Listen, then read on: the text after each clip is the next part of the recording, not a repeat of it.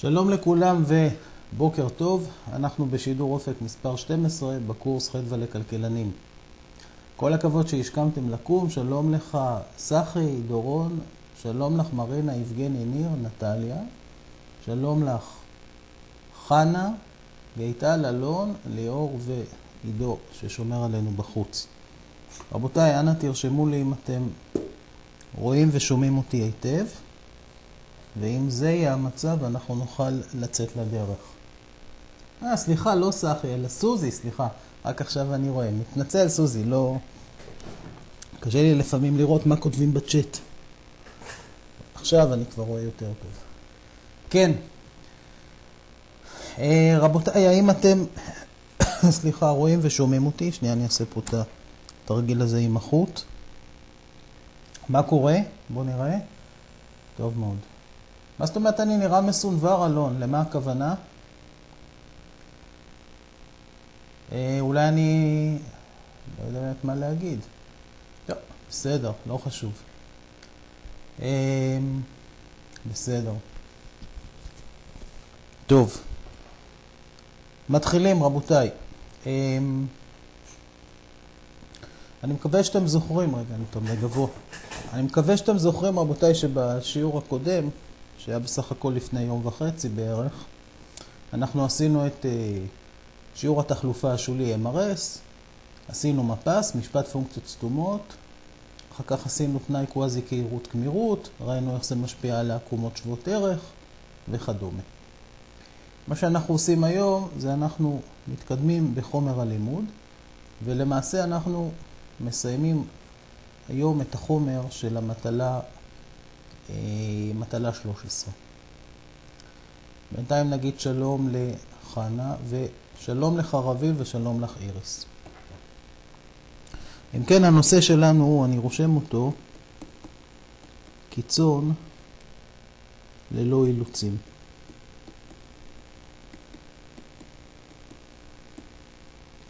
אוקיי? זה הנושא שלנו. אז בואו נתחיל. ראשית, יש לנו משפט.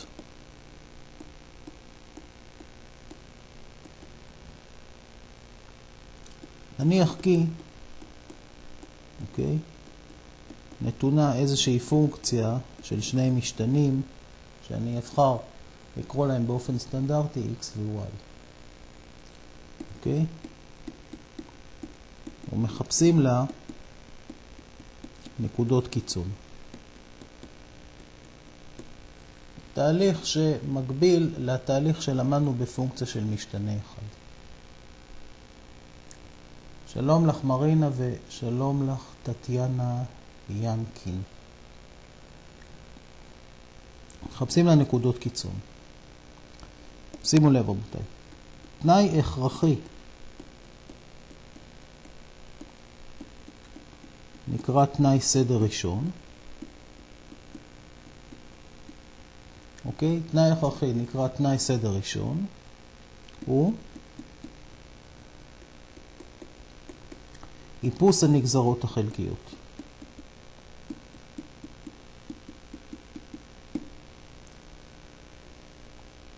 בסדר? איפוס הנגזרות החלקיות. כלומר, f לפי x צריך להיות שווה 0, וגם f לפי y צריך להיות שווה 0. שימו לב, יש לנו כאן שתי משוואות שחייבות להתקיים. פותרים את המשוואות, פותרים את מערכת המשוואות.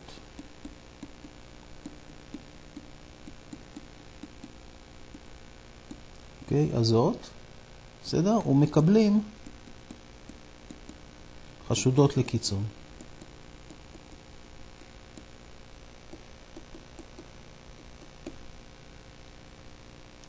אחרי שנקבל את החשודות לקיצון, השאלה היא כיצד אנחנו נכריע, כן, כיצד נכריע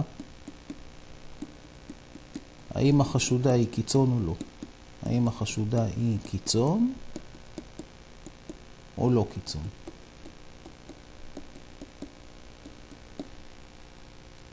בסדר? זאת השאלה שעומדת על הפרק. אז התשובה נמצאת בתנאי שלא נקרא תנאי סדר ראשון, אלא נקרא תנאי סדר שני. נכתוב אותו. תנאי סדר שני. והתנאי אומר את הדבר הבא. לוקחים את f, גוזרים אותה לפי נגזרת שנייה, רק לפי x, כופלים את זה בנגזרת השנייה לפי y, מחסרים את הנגזרת המעורבת בריבוע. מסמנים את כל הביטוי הזה, נהוג לסמן אותו בדלתא.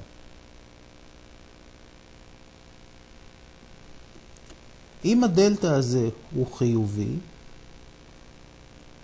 אז אנחנו יודעים בוודאות שיש קיצון.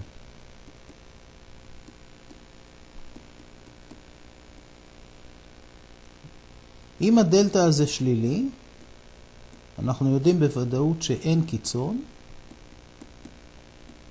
אוקיי? יש עוקף. תכף נסביר את הכל. ואם הדלתא הזה שווה 0, אז התנאי לא קובע כלום, הכל אפשרי. צריך לחשוב, נקרא לזה בדרך אחרת. כלומר, המשפט במצב שדלתא שווה 0 הוא לא עוזר לנו, ואנחנו צריכים לחשוב לגבי השאלה של הקיצון בדרך אחרת. אחר כך נדבר על זה. עכשיו שימו לב שהמקרה הראשון, דלתא גדול מ-0 יש קיצון, זה המקרה החשוב ביותר מבחינתי. כי כל המטרה שלי היא למצוא לפונקציה נקודות קיצון. אז אם אני בא ואני אומר שדלתא גדול מ-0 יש קיצון, אז זה בעצם המקרה החשוב.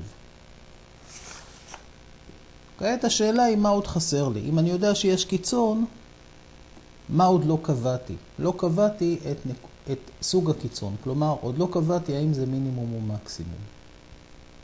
יש לנו כאן תנאי נוסף.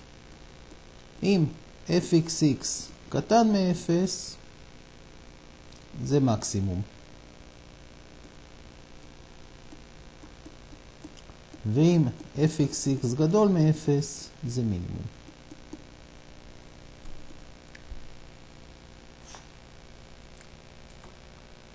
למעשה זה גומר את המשפט שלנו מבחינה מתמטית.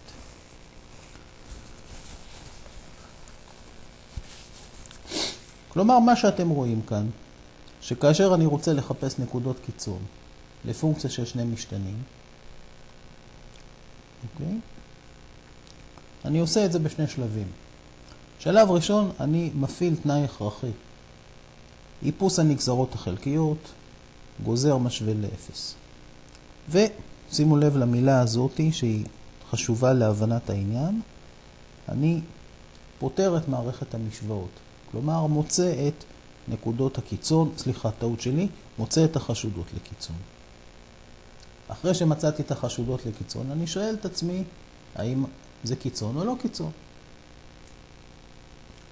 אני עובר לתנאי סדר שני שמבוסס על התבנית הזאת שנהוג לסמן אותה בדלתא. יש לדלתא הזאת מספר מקרים. אם זה קטן מ-0 אין קיצון, יש שוקף, אחר כך נדבר על זה. אם זה גדול מ-0 יש קיצון. ואם יש קיצון, אז אני ממשיך את התנאי ואני בודק האם זה מקסימום או מינימום לפי הסימן של הנגזרת השנייה. אם הדלתא שווה ל-0, יכול להיות קיצון, יכול להיות לא קיצון, הכל אפשרי, המשפט לא עוזר לנו, צריך לחשוב בדרך אחרת. כמובן שזה המקרה הקשה ביותר, כי אם המשפט לא עובד, אז אנחנו לא יכולים להשתמש בו, ואז צריך לראות מה לעשות באותה בעיה.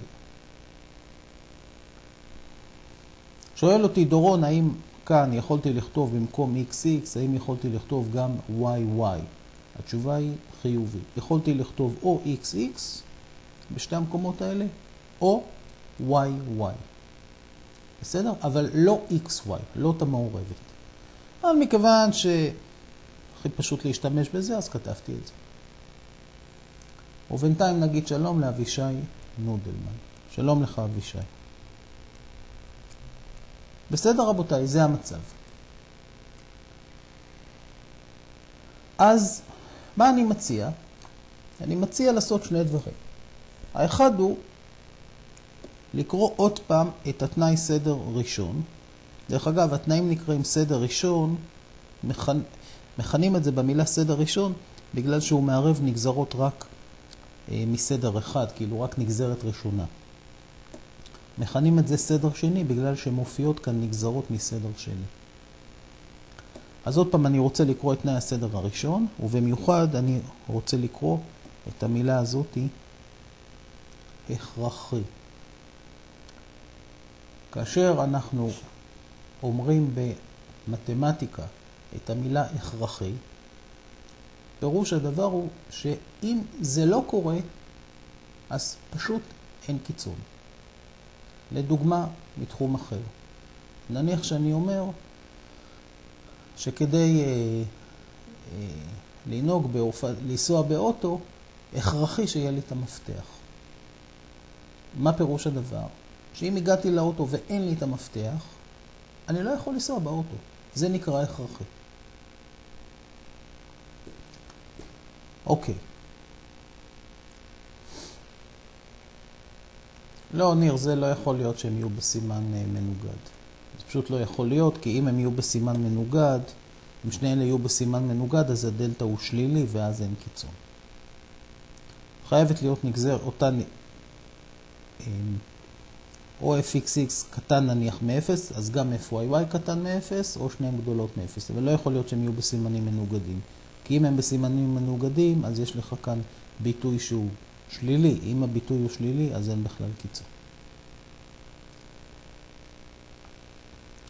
אוקיי רבותיי, אז אני חוזר כאן לענייננו. המילה הכרחי היא מילה שחשוב להבין אותה. הכרחי זה אומר, בלי התנאי הזה לא יכול להיות קיצור. נקודה נוספת שהיא חשובה להבנה היא הנקודה הבאה.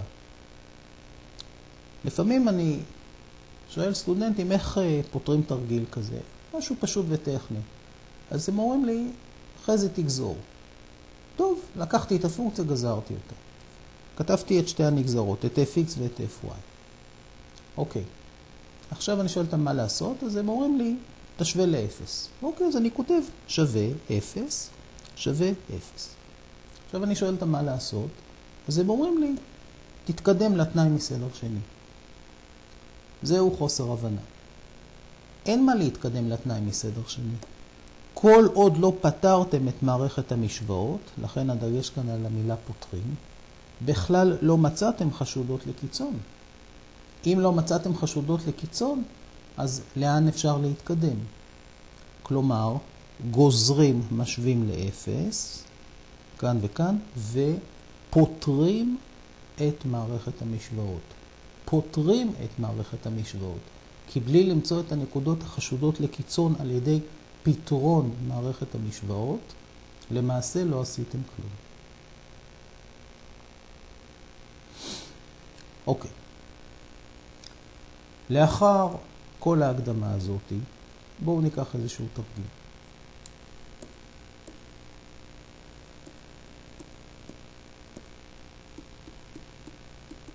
והשאלה שלי היא פשוטה. מצאו קיצון עבור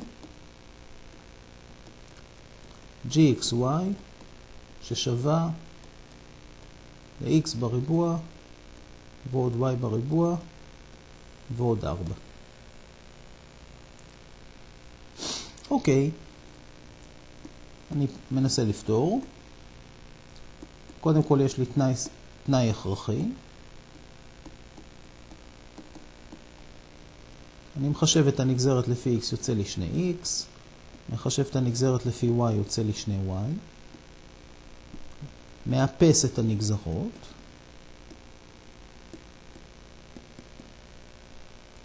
פותר את המשוואות,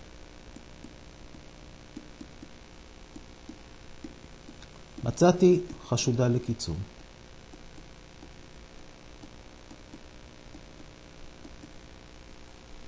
נקודה אחת, 0, 0. איך אני אדע אם היא קיצון? אני עובר לתנאי סדר שני. קודם כל אני אחשב את הנגזרות. gxx, לגזור את זה זה 2. gyy, לגזור את זה זה 2. ו-gxy, לגזור את זה לפי y, זה 0.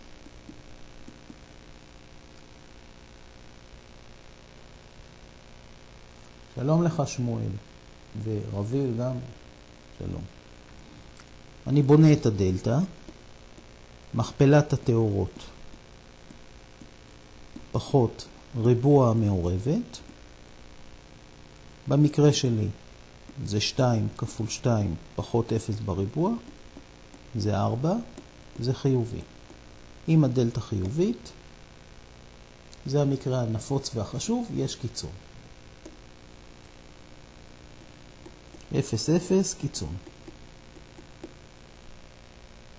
אוקיי, מקסימום או מינימום, עוד לא קבעתי. כמו כן,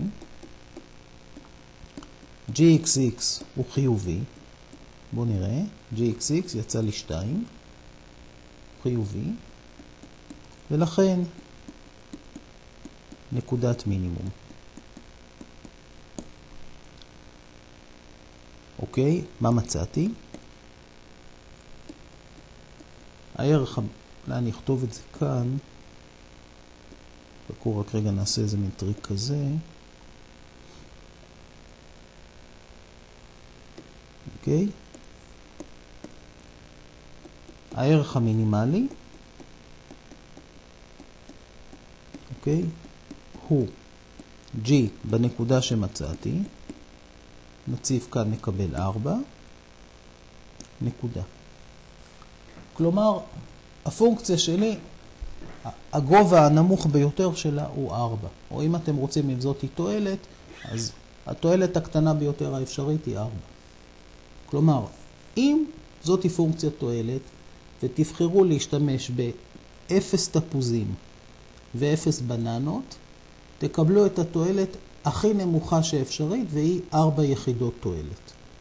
אם תבחרו כל קומבינציה אחרת של תפוזים ובננות, תמיד תקבלו תועלת יותר גדולה. כמובן דוגמה ראשונה שבה הכל עובד היטב והכל מצליח. שימו לב רבותיי למרכיבי הדוגמה. יש לי פונקציה, אוקיי? מפעיל את התנאי ההכרחי, חשב נגזרות, משווה לאפס, פותר, מוצא חשודה אחת לקיצון בסך הכל. רוצה לדעת האם זה קיצון, חשב נגזרות מסדר שני, קובע את הדלתא, יצא לחיובית, מעולה, זאת נקודת קיצון. נקודת קיצון מקס או מין, מפעיל את המשך התנאי, gxx גדולה מ-0, לכן מינימום. ובסוף אני קובע את הערך המינימלי. אבישי, טטיאנה, רביל, איריס, שלום לך, טליה אברהם, לא ראיתי שהצטרפת, שלום לך שמואל, סוזי, דורון, מרינה, יבגני, ניר, נטליה, חנה, גייטל, אלון, ליאור, האם בשלב הזה הכל ברור? תכף זה קצת הסתבך, כרגע אנחנו רק רוצים לוודא שהתרגיל הזה ברור ושהבנתם את הדברים החשובים בתנאי סדר ראשון ובתנאי סדר שני.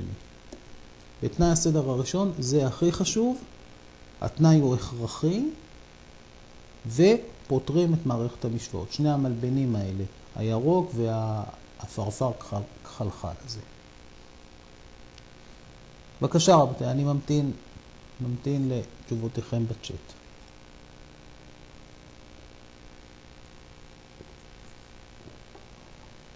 אלון, אני חושב לחצת בטעות Enter, נכון? מעניין, כי השם שלך מופיע פעמיים. אה, אוקיי.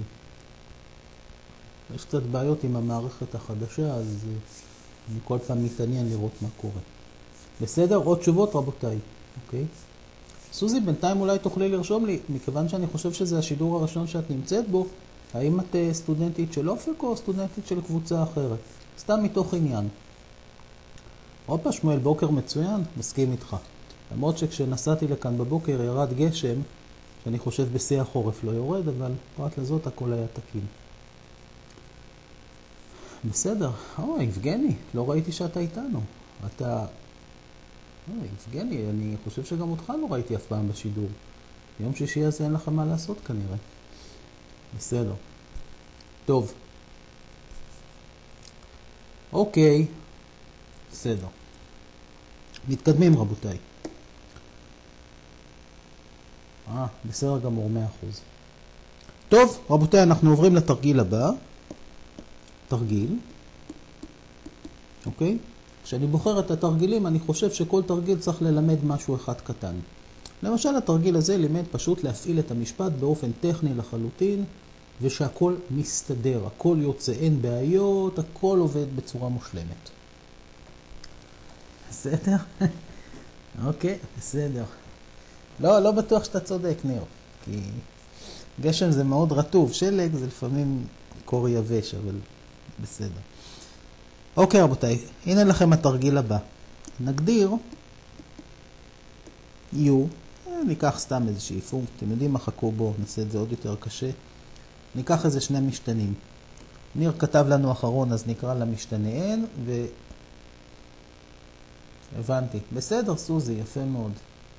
אוקיי? וניקח את סוזי עם האות S, אוקיי? ונניח שהתועלת היא כזאת, S ועוד n בריבוע. זאתי הפונקציה שלי, אוקיי? students ועוד number בריבוע. זה, זה התועלת שלי. מצאו קיצון. זאת כל השאלה. עוד עושה רושם, רבותיי, אולי נשים פה שני, אז שיהיה יותר מעניין, אוקיי? עוד עושה רושם שהפונקציה הזאת היא עוד אפילו יותר פשוטה מהתרגיל הזה. אבל בכל זאת, זה תרגיל שני, כלומר יש בו איזה משהו. בסדר, מאה אחוז.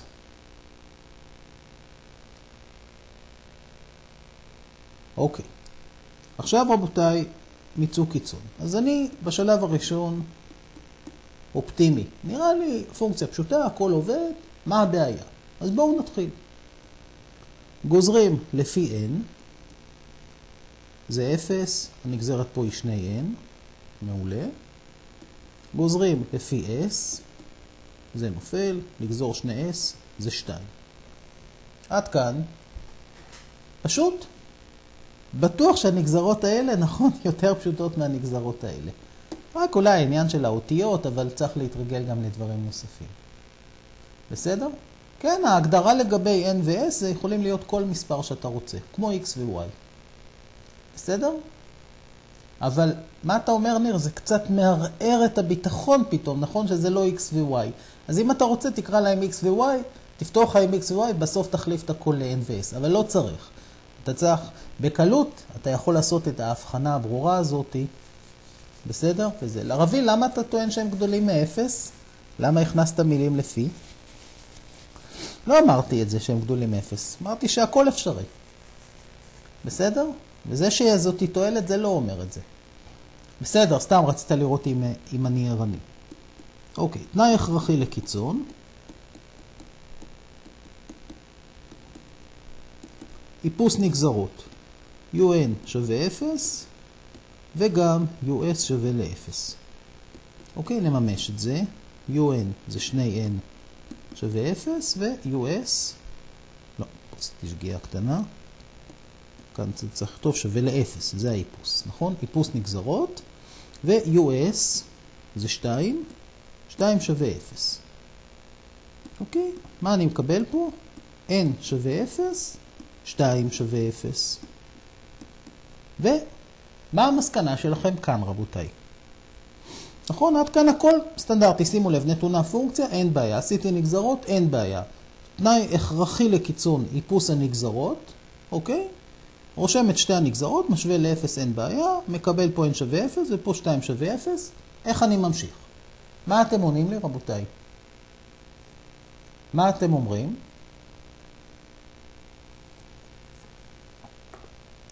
מה אתם מציעים לי לכתוב? אתם יודעים מה? בואו נסמן את זה ככה, תראו.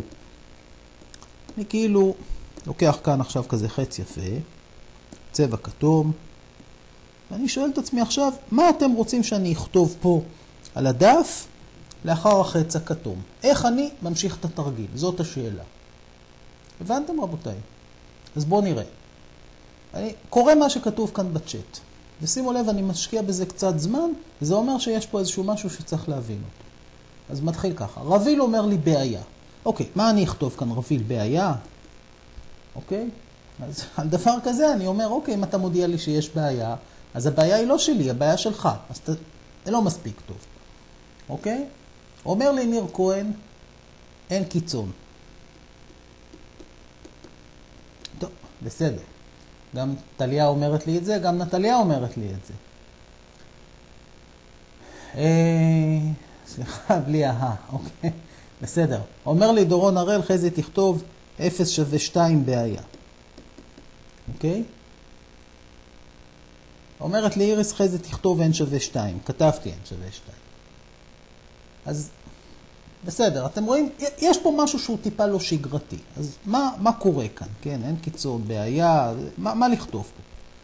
עכשיו אני רוצה לחזור למשפט. אני רוצה לקרוא את המילה שכתובה כאן, שעליה אני, אני מצביע עליה כעת. אני מוריד את עצמי מהמצגת. נא להסתכל היטב, רק להקשיב ולשים לב לעת שלי. כתובה כאן המילה הכרחי. מה פירוש המילה הכרחי? ה', כ', ר', ח', י'. מה פירוש המילה הכרחי? הכרחי זה אומר שאם זה לא מתקיים, אז פשוט אין קיצון. כלומר, אם אין לי את המפתחות של האוטו, אני לא יכול לנסוע באוטו. עכשיו נחזור לכאן. n שווה 0, אין איתו בעיה. אבל פה יש לכם סתירה במתמטיקה. ולכן המסקנה שלי כעת היא אין נקודות קיצון לפונקציה. נימוק לא מתקיימים תנאי הסדר הראשון.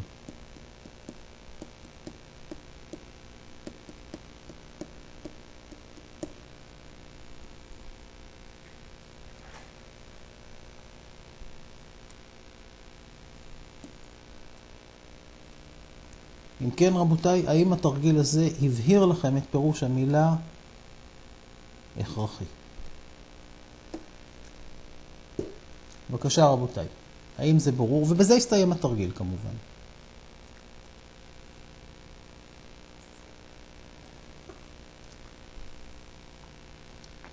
בסדר רבותיי, האם זה מובן לכם?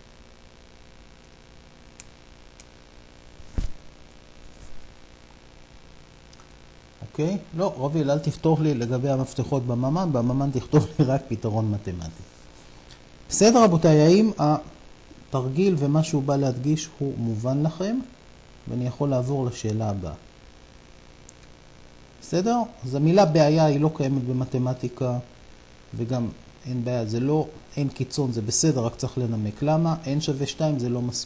זה לא מספיק, כלומר, אני לא יודע למה זה נכון, ו... הלאה. תשימי לב, נדמה לי שאיריס אמרה את זה נכון. איריס, תשימי לב לנקודה חשובה. כשאת מוצאת נקודת קיצון, את צריכה לקבל נקודה עם שתי קורדינטות. המשתנים שלי זה n ו-s, אוקיי? אז את צריכה למצוא לי את ה-n ואת ה-s המתאימים. אז קודם כל ה-n יצא כאן 0. נגיד את מתחילה ככה. את רואה שאין s שמקיים את זה. פשוט המערכת המשוואות כאן לא נותנת את ה-S הזה. זאת אומרת שפשוט אין לך נקודת קיצון. אם אין נקודת קיצון, אין תנאי סדר, לא מתקיימים התנאים מסדר ראשון, זהו, אז לפונקציה אין נקודת קיצון. בסדר? אוקיי. נעשה כאן איזושהי טיוטה. ניקח פונקציה, רבותיי, כמו שהייתה לנו בחלק הראשון של הקורס, 3x. אני רוצה למצוא לה נקודות קיצור.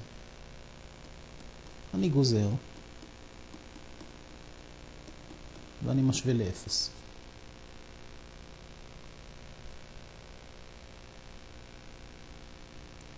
שלוש שווה 0, זאת סתירה מתמטית. לכן לפונקציה אין קיצון. כלומר, העובדה שתנאי סדר ראשון כזה, נגזרת שווה 0, לא מתקיים, כבר אנחנו ראינו את זה גם במשתנה אחד, זה לא חדש לנו. בדיוק כמו שזה קורה במשתנה אחד, הדוגמה הזאת היא מראה שזה יכול לקרות גם בשתי משתנים. בסדר, רבותיי? רביל, אתה מוכן בבקשה להתרכז בשידור, ברשותך. בסדר? תודה לך. אוקיי, איריס, האם זה ברור? נדמה לי שאיריס כתבה את זה, נכון? רגע, אני רוצה למצוא אותך. איריס, כן. בסדר? יבגני, האם זה ברור לך? יבגני, אתה היית בשידורים קודמים? אני לא זוכר, או שאתה סטודנט מקבוצה אחרת, או אולי מהקבוצה הזאת ואף פעם לא באת, זה גם דבר חיובי. הכל אפשרי אצלנו. בסדר? אבישי, האם זה ברור? כן, כתבת לי, סליחה, לא ראיתי. נטליה, חנה, האם זה מובן? לא כתבת לי שום דבר מהבוקר, חנה. אני מקווה שאת רואה ושומעת אותנו. בס... בסדר, רבותיי. האם אני יכול להתקדם?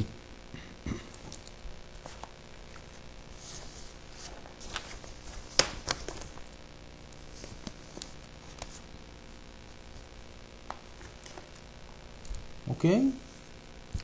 בסדר. מה קורה? עוד קצת תשובות, רבותיי. או שצריך להסביר עוד משהו, אז תגידו לי, אני מוכן להסביר, אין בעיה. זמן יש לנו תמיד.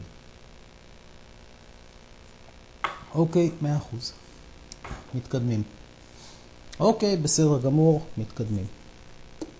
אז זה היה סתם טיוטה. בואו נתקדם הלאה.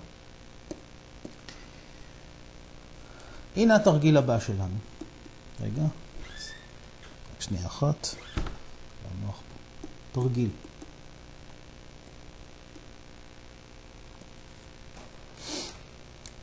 התרגיל שלי הוא כזה, רבותיי, שימו לב.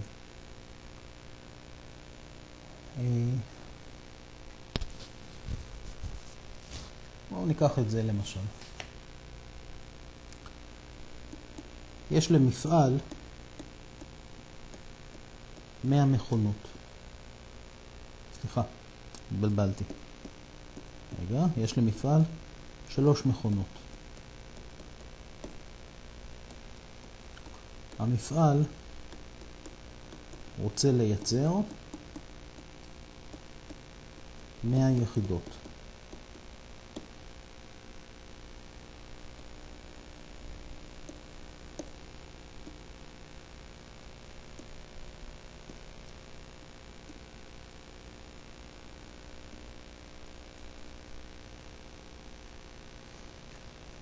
אוקיי, עכשיו שימו לב למה הכוונה כאן. אין פה מצב, כלומר, סליחה, אני רוצה לייצר נניח יחידה במפעל הזה. אני לא צריך להפעיל את כל המכונות. אני יכול ללכת לאחת המכונות ולהגיד לה, תייצרי לי יחידה, והיא מוציאה לי את היחידה. אוקיי? כלומר, זה לא שעבור כל יחידה אני צריך להפעיל את כל המכונות או חלק מהמכונות. כל המכונות אותו דבר, וכל המכונות יכולות להוציא את אותן יחידות. נגיד מכונות שמייצרות מטבעות, מצד אחד אני מכניס חומר גלם, מצד שני יוצא לי מטבע. בסדר? וכל המכונות עושות את אותה עבודה. רק שהמכונות הן טיפה שונות. למשל, יש מכונה מישראל, יש מכונה מארצות הברית ויש מכונה מצרפת. אוקיי? אבל כולן עושות את אותה עבודה. המכונה מישראל מכניסים לחומר גלם, היא מוציאה מטבע. המכונה מצרפת מכניס לה את אותו חומר גלם, היא מוציאה מטבע. המכונה מארצות הברית מכניסים לחומר גלם, היא מוציאה מטבע. כל המטבעות שווים, כל חומרי הגלם שווים, פשוט מכונות ממקומות שונים בעולם. נגיד, מכונות שונות בתפקוד הפנימי שלהם. אבל בסופו של דבר כל המכונות מקבלות את אותו חומר גלם ומוציאות את אותה יחידה, את אותה מטבע. אוקיי. אז יש לי שלוש מכונות ואני צריך לייצר 100 יחידות. בכל זאת, המכונות, אמרתי לכם, אחת מישראל, אחת מארצות הברית, אחת מצרפת, מכונות שונות. במה הן שונות? עלות ההפעלה של כל מכונה שונה מאחת לשנייה. כי המכונה, בפנים, הקרביים של המכונה, כל מכונה עובדת בשיטה אחרת. לכן, מבחינתי, אני יודע שאני צריך לתת לכל המכונות את אותו חומר גלם, והתוצר הסופי הוא אותו תוצר סופי. נגיד מטבע, כמו העט הזאת. נגיד המכונה מוציאה עט, אז הנה, מוציאה את העט הזאת. אז כל המכונות בסוף, כל אחת מהן תוציא את העט הזאת. אבל בתוך המכונה, בקרביים שלה, זה לא אותה מכונה. כל אחת עובדת בשיטה אחרת. לא חשוב כרגע מה קורה בפנים. מכיוון שהמכונות הן לא שוות בקרביים, גם עלות ההפעלה שלהן היא לא שווה.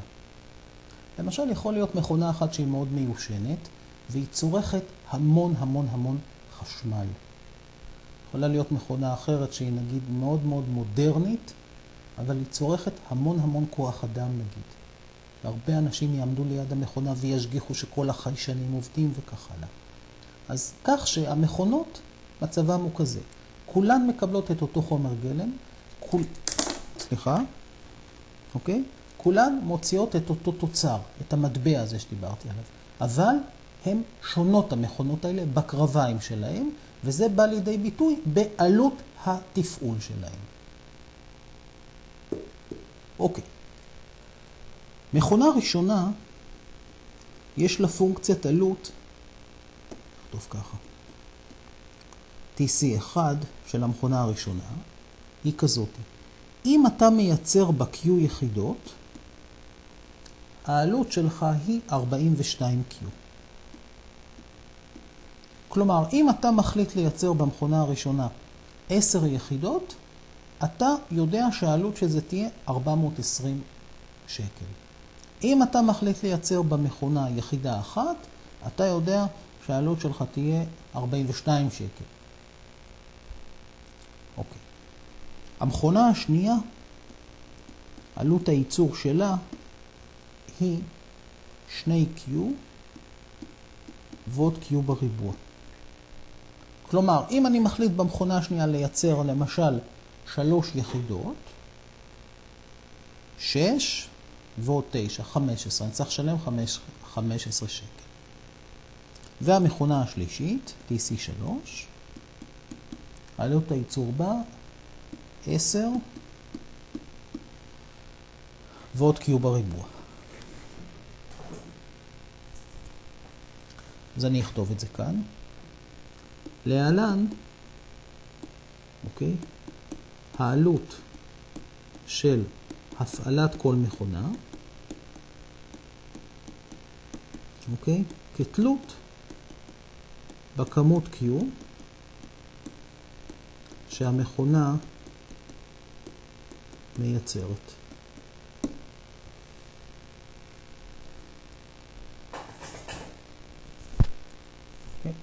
כן, ניקח למשל, אם נייצר במכונה 3 Q שווה 4, אה, נשלם, כן, העלות תהיה TC3 כאשר Q שווה ל-4, כן, וזה יהיה 10 ועוד 16, כלומר 26 שקל. כלומר, במכונה 3 לייצר 4 יחידות עולה ל-26 שקל. לעומת זאת, לדוגמה, במכונה 2, או נגיע במכונה 1, העלות היא 42 כפול 4, זה 168 שקל. בסדר? בצורה כזאת. אוקיי, שלום לך יקטרינה פרידלנדר. בסדר עד כאן רבותיי, אז זה המצב. עכשיו, מה המטרה שלי? שימו לב.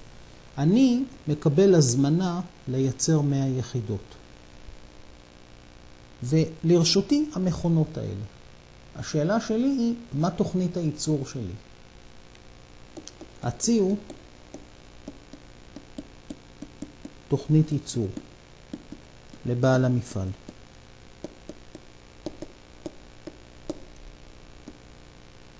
אוקיי? כלומר, בעל המפעל בא אליכם ואומר לכם ככה, הצלחתי לזכות במכרז, במכרז מבקשים ממני 100 יחידות. אתם אומרים לו, מה כלי הייצור שלך? הוא אומר לכם, הנה, תראו, יש לי כאן מפעל גדול, במפעל יש שלוש מכונות, מכונה מקומית מישראל, מכונה שהבאתי מארצות הברית ומכונה שהבאתי מצרפת.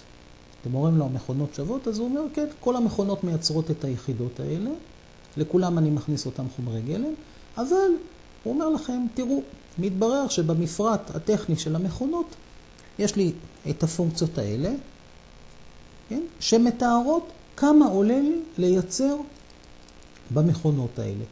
ובאמת הוא אומר לכם, הנה אתם רואים, העלויות של הייצור בכל מכונה היא שונה, כי המכונות שונות בקרביים שלהן, אוקיי? ואז הוא אומר לכם, אתם הכלכלנים, תציעו לי תוכנית ייצור. ותזכרו, בסוף יום העבודה אני חייב שיהיה לי במפעל 100 יחידות. בסדר? כי אחרת אני לא עומד בתנאי המכרז. בשביל זה שכרו אותי לייצר 100 יחידות. הציעו תוכנית ייצור. שימו לב רבותיי, התרגיל הזה לפני שנפתור אותו, כל התרגיל מבוסס כאן על הבנת הנקרא. הוא לא מבוסס כאן על מתמטיקה. אם אתם מבינים את הנקרא ומבינים מה לעשות, אז מיד נכתוב תכף איזה משוואה, ומתמטיקה תבוא לעזרתנו ותפתור את הבעיה. אבל כל העניין הוא מה הכוונה תוכנית ייצור, מה שכתבתי כאן, תכף אני אראה את זה, ואיך לתרגם את הסיפור הזה לבעיה במתמטיקה. עוד אני רוצה להזכיר לכם שהנושא שלנו הוא זה. קיצון לפונקציה של שני משתנים. אז מה זה תוכנית ייצור ואיך להתקדם. מה למעשה אתם צריכים להציע לבעל המפעל? אל תחשבו מתמטית, אלא תחשבו הגיונית מילולית. מה למעשה בעל המפעל רוצה לקבל ממכם, אם אתם הכלכלנים, בתנאים האלה? מה זה הכוונה תוכנית ייצור? ואחר כך נתרגם את זה. אוקיי. ראשית כל אנחנו רוצים להגיד שלום למשה. אוקיי. אני רוצה להראות לכם הצעה שכתובה כאן בצ'אט. דורון, רק רגע סבלנות. בואו נראה מה אומר לי אלון. אלון אומר לי ככה, תסתכלו רבותיי, נשמע הגיוני, אבל בואו נדון בזה. ניקח Q שווה 100, נמצא באיזה, מכונת, באיזה מכונה עלות הייצור הכי נמוכה ונייצר בה. כלומר, מציע לי סטודנט לקחת Q שווה 100, להציב כאן, להציב כאן ולהציב כאן. איפה שיוצא הכי קטן, שמה לייצר. מה רע בהצעה הזאת ומה טוב בהצעה הזאת.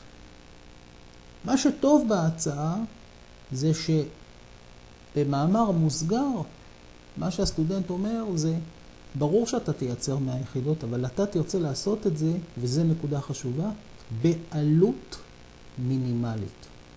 לא תרצה סתם לבזבז כסף. מה רע בהצעה הזאת?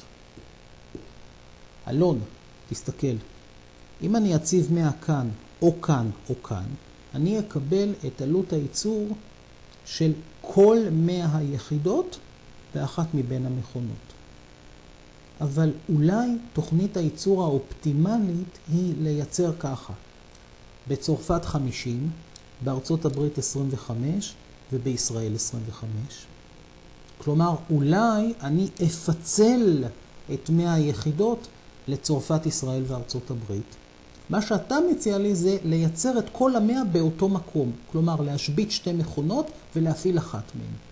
אבל אולי יהיה לי יותר יעיל, נגיד סתם לדוגמה, 33, 33 ו-34 למשל. או נגיד 1, 1 ו-98.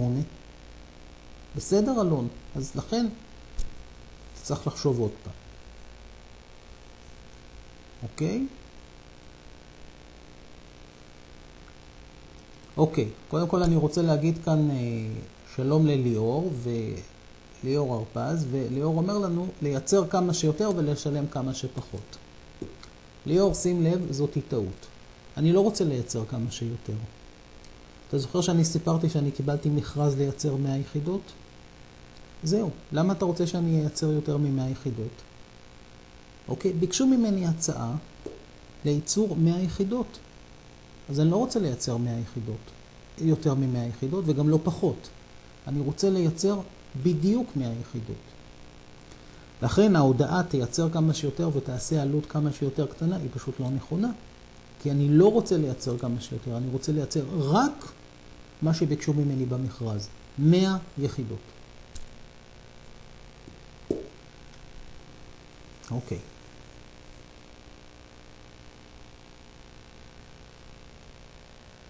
אומרת לי טליה, הערה מאוד יפה, תוכנית ייצור זה, שימו לב רבותיי, זו תשובה יפה, כמה יחידות לייצר בכל מכונה. יפה. זה רעיון יפה. אומרת לי איריס, גם שמואל אומר את זה, כמה יחידות עבור כל מכונה. זה נכון. ואומרת לי איריס, נקודת מינימום. עוד מעט נגיע להצעה של איריס. אז אם כן רבותיי, אנחנו אומרים ככה. אנחנו כבר מבינים שיכול להיות שאת 100 היחידות אנחנו נפצל. ועכשיו אני מתחיל לחשוב ביחד איתכם בקול רם. איך לפצל? 1, 1, 98, 2, 3, 95, 30, 30, 40, 25, 25, 50, 21, 22 והמשלים ל-100, איך לפצל? כלומר, תוכנית הייצור שאנחנו צריכים לקבוע היא לבדוק האם צריך פיצול כזה, ואם פיצול, כמה לייצר בכל מכונה. כלומר, כמה לייצר בישראל, בצרפת ובארצות הברית. אוקיי, אז אני אומר דבר כזה. פתרון. אוקיי? וההצעה שלי היא כזאת. במכונה 3 נייצר x מתוך המאה.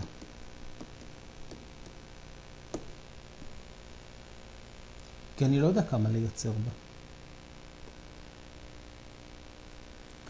במכונה 2 בואו נייצר y מתוך המאה. כי אני לא יודע כמה לייצר בה.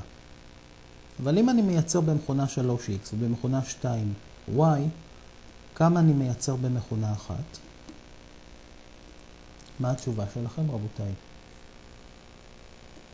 ב-3 אני מייצר x. ב-2 אני מחליט לייצר y. כמה אני אייצר במכונה אחת? בסך הכל אני צריך לייצר 100, נכון? זאת אומרת שכאן אני אייצר 100 פחות x פחות y. אז במכונה אחת נייצר 100 פחות x פחות y.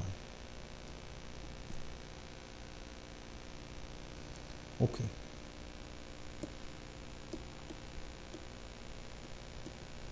אם אני מייצר במכונה 3x, הנה, כמה כסף זה עולה לי?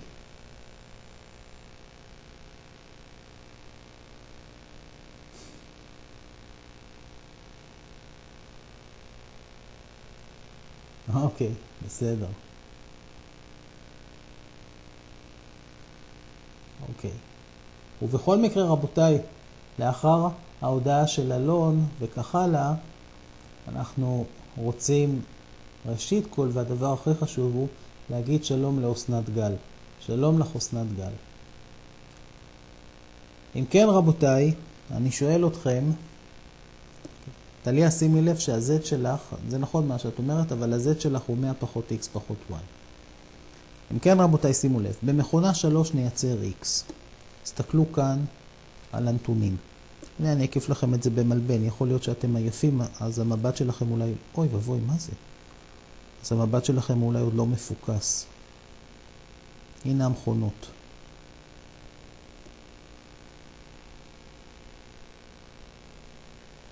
אם במכונה הזאת, שלוש, אני מייצר x, כמה כסף זה עולה לי, רבותיי?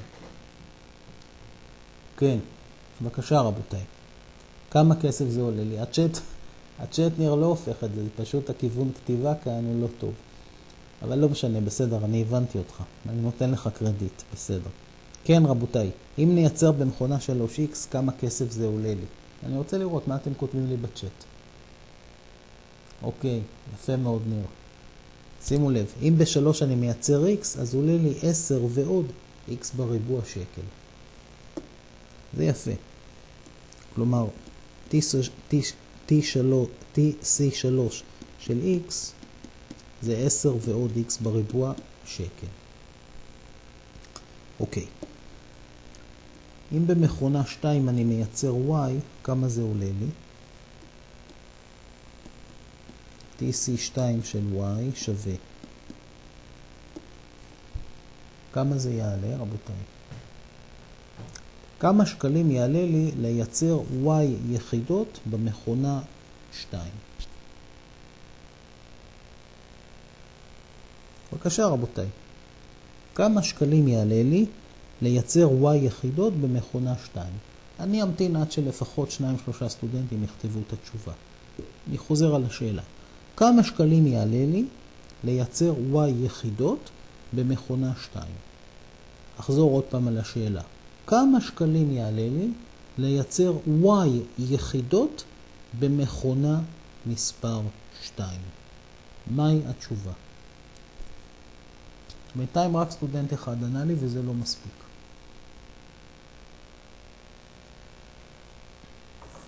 אולי אני אחזור על השאלה, אולי לא שמעתם אותה.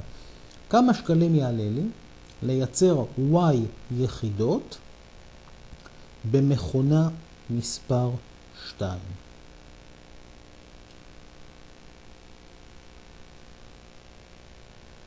אוקיי? שני y ועוד y בריבוע. שני y ועוד y בריבוע.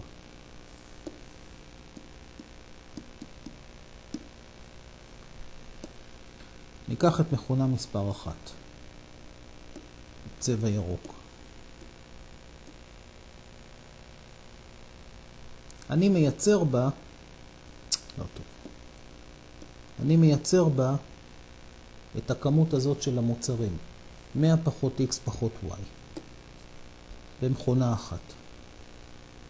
כמה כסף זה עולה לי? מה התשובה רבותיי? אוקיי? כמה כסף זה עולה לי?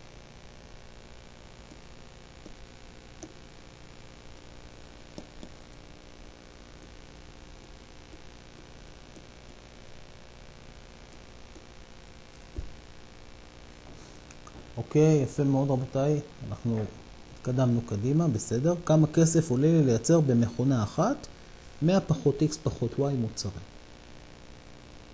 אז אפשר להגיד שזה ברור, נכון? אני פשוט מחליף את ה-Q הזה בכמות המוצרים. כמות המוצרים היא 100 פחות x פחות y. אז 42 כפול המספר. כלומר, TC1 של 100 פחות x פחות y יעלה לי 42 100 פחות x פחות y. עכשיו רבותיי תשימו לב. באדום יש לי את כמות הכסף שאני צריך לשלם בגין הפעלת מכונה 3. בשתיים יש לי בכחול את עלות הכסף שאני כבעל מפעל צריך לשלם בגין הפעלת מכונה 2. ובירוק באחד יש לי את הכסף בשקלים שאני צריך לשלם בגין הפעלת מכונה אחת. אוקיי? כלומר, זה הכסף בשקלים נגיד של ישראל, זה הכסף בשקלים של צרפת, וזה הכסף בשקלים אה, של ארצות הברית. עכשיו, אני כבעל מפעל מפעיל את כל המכונות האלה, ולכן העלות שלי זה שקלים בישראל, ועוד שקלים בצרפת, ועוד שקלים בארצות הברית. אם כן, העלות שלי כבעל מפעל היא, נקרא נניח לעלות Z, עלות כוללת, בסדר? TC1 ועוד השקלים ממכונה 2 ועוד השקלים של מכונה 3. כלומר, Z שווה 10 ועוד X בריבוע ועוד 2Y ועוד Y בריבוע ועוד 42 כפול הסוגריים.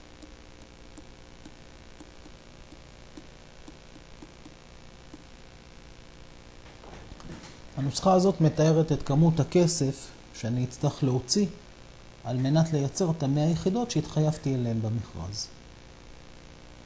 אוקיי? ולא כדאי לפתוח פה סוגריים. בשלב הזה בואו נשאיר את זה ככה.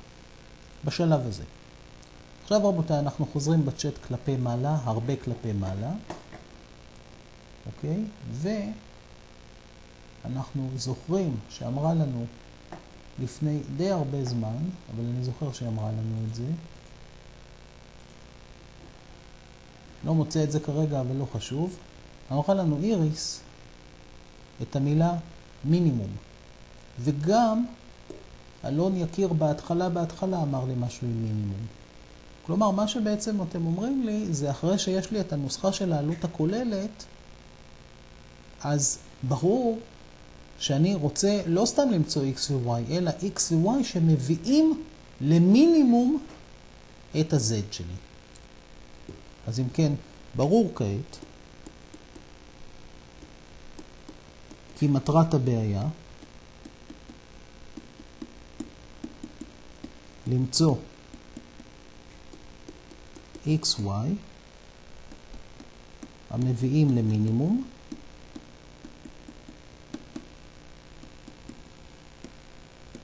את z. z שכתובה כאן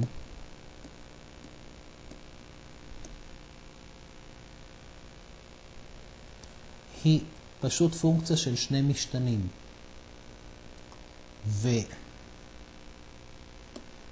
ולמדנו למצוא קיצון, קיצון לפונקציה של שני משתנים.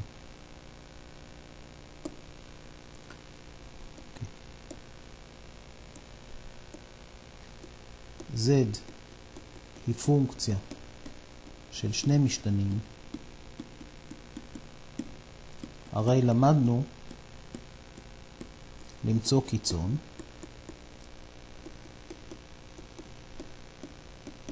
לפונקציה כזאת. תנאי הכרחי.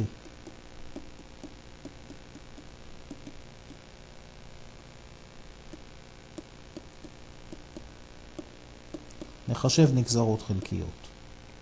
לגזור לפי x, זה נופל. לגזור כאן לפי x זה 2x, זה נופל, זה נופל. 42 כפול 100 זה קבוע, נופל בגזירה. 42 כפול מינוס x זה מינוס 42x, בגזירה זה מינוס 42. גוזרים לפי y, זה נופל, זה נופל. כאן הנגזרת לפי y זה 2. כאן הנגזרת לפי y זה 2y. וכאן הנגזרת לפי y זה מינוס 42.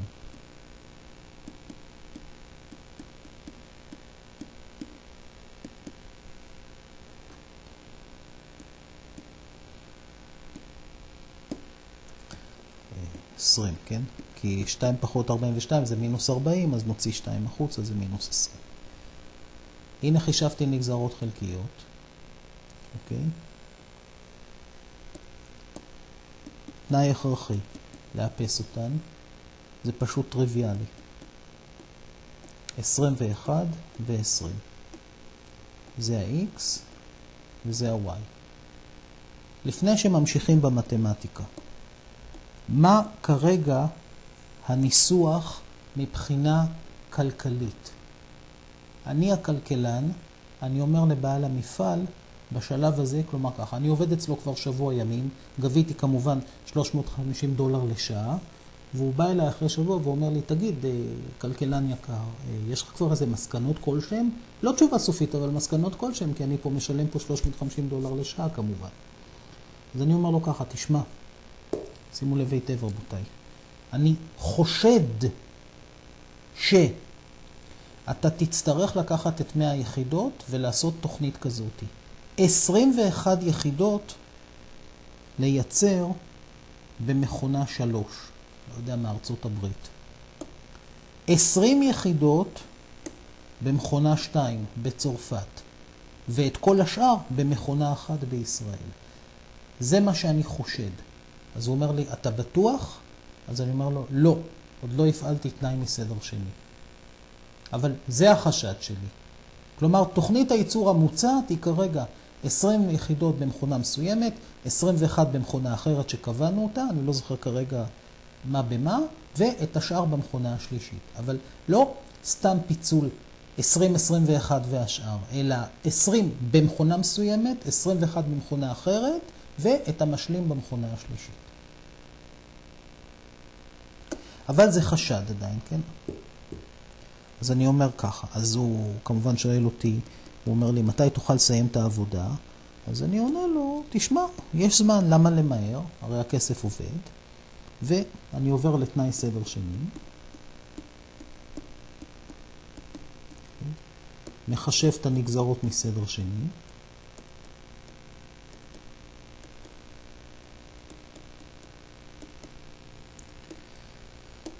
ZX נמצא כאן, אז הנגזרת לפי X היא 2, ZY גם פה יוצא לי 2, וזה יוצא 0. אז הדלתא שלי היא ZXX כפול ZYY פחות ZXY בריבוע, כלומר זה 4, זה חיובי, לכן יש קיצון. מכיוון ש-ZXX זה 2 וזה חיובי, אכן מינימום. תשובה סופית. נייצר במכונה אחת, אוקיי, x זה 21, איפה ה-x? ה-x ייצג את איזה מכונה? מכונה 3 דווקא. במכונה 3 מייצרים x. אז במכונה של, כמה יצא ה-x? שכחתי כבר, 21. כלומר, נייצר במכונה 3 21 יחידות. y יצא 20, y היה בשביל מכונה 2.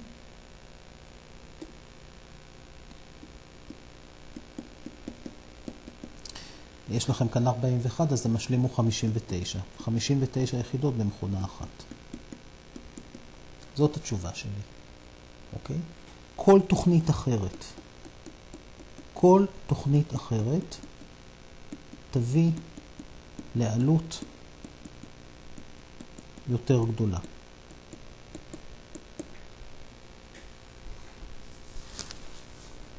אה, מהי העלות המינימלית?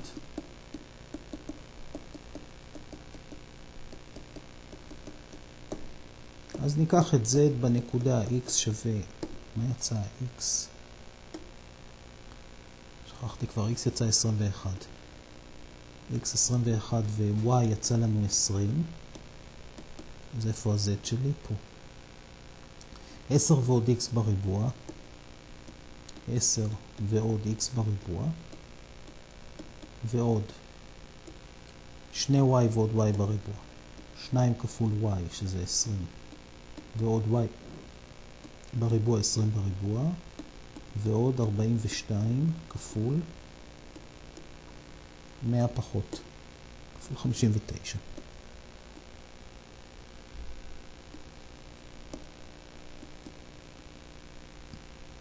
מאה, אה, עשר, סליחה. 21 בריבוע זה 441, 40, 400, 42 כפול 59. איפה המחשבון כאן? כמה יש לי כאן? 42, 59. 59 כפול 42 שווה 2, 4, 7, 8. 2, 4, 7, 8. שווה 2, 4, 7, 8 ועוד 440 יש לי פה, 440 שווה ועוד 440 וכאן יש לי 451.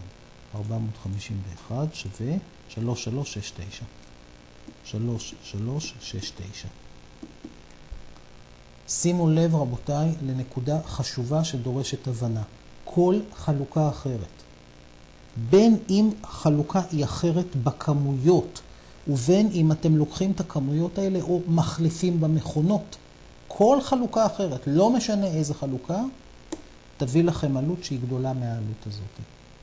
כל חלוקה אחרת. אפשר גם לנסח את התשובה הזאת בצורה הבאה. Okay. אוקיי. בעל מפעל יקר, okay. התחייבת לייצר 100 יחידות. אוקיי? Okay? בכל תוכנית שתפעיל לא תרד מעלות של 3369, סימן קריאה.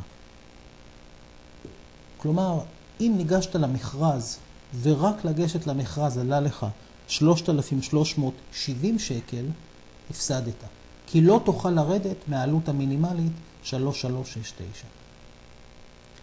רבותיי, הקורס שלנו הוא לא קורס בכלכלה, אבל אתם רואים שהחלק המתמטי בתרגיל הזה הוא שקף, ואילו כל התרגיל, כמעט 20 דקות, זה הבנת הנקרא. ואיך לנסח את התשובה בצורה כלכלית, זה סתם בשביל שזה יהיה מעניין. אותי זה לא מעניין, וגם בקורס הזה אתכם זה לא מעניין. מה שאתכם מעניין זה דבר אחד, לעשות את הבנת הנקרא, להביא את הסיפור למצב בו יש פונקציה של שני משתנים. ומפה יש לכם משפט. ואת כל האינטרפטציות והפירושים הכלכליים נשאיר לקורסים הנהדרים בתורת המחירים א', ב' וג'. בסדר? שם תנתחו את כל הדברים האפשריים. בסדר? אבל כאן אני רוצה להתרכז רק בצד המתמטי. והצד המתמטי הוא, כפי שאתם ראיתם, בעיקר להביא את זה למצב של פונקציה של שני משתנים ולהתקדם לפי המשפט. בסדר? לא יודע מה להגיד לך, ניר. אין לי תשובה לשאלה שלך. בסדר? אוקיי. בסדר? אם כן, רבותיי, השאלה שלי היא כזאתי. האם הבעיה ברורה? האם הבעיה ברורה ופתרונה ברור, הן מהפן של הבנת הנקרא והן מהפן של המתמטיקה. אני ממתין לתשובותיכם בצ'אט.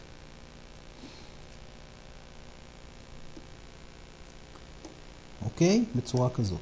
דרך אגב, שימו לב שאם הייתי בוחר, סתם לדוגמה, במכונה 2x ובמכונה 3y ובמכונה 1 ההפרש או משהו כזה, או הייתי בוחר אחרת את המשתנים, זה לא היה משנה את העובדות. גם לא השמות שלהם x, y, זה לא משנה כלום. במפעל הזה, תחת הנתונים האלה, תמיד חייבים שבמכונה שממוספרת 1 לייצר את זה, 2 את זה ו-3 את זה. אין ברירה אחרת. בסדר? לא משנה השמות ואיך קוראים למשתנים וכדומה.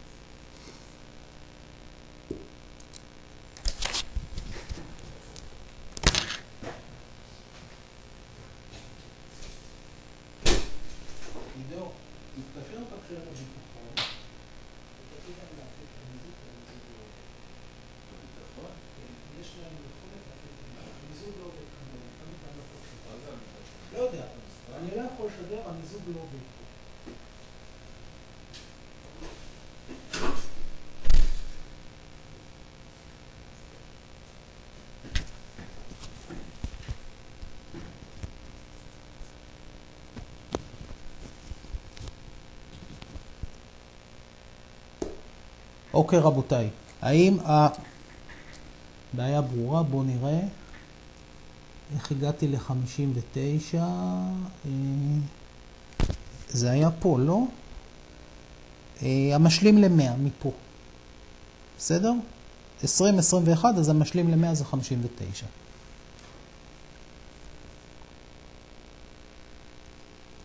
אוקיי? בסדר. ממשיכים רבותיי. בעיה, תרגיל.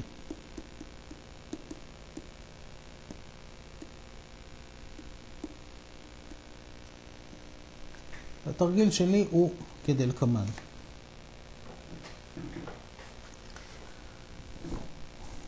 תראו, יצרן מוכר כמות Q בשני שווקים שאני ממספר אותם 1 ו-2.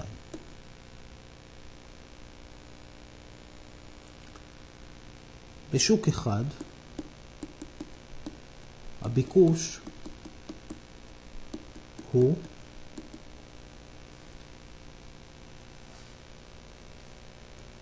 Q1 שווה, ואני מעתיק מפה, 240 פחות P1 פחות P2. בשוק 2 הביקוש הוא, בשוק 2 הביקוש הוא 400 פחות P1 פחות 2 P2.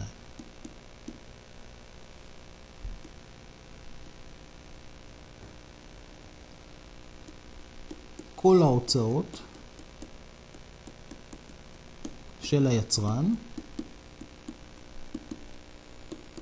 TC של Q, 3725 ועוד 10Q.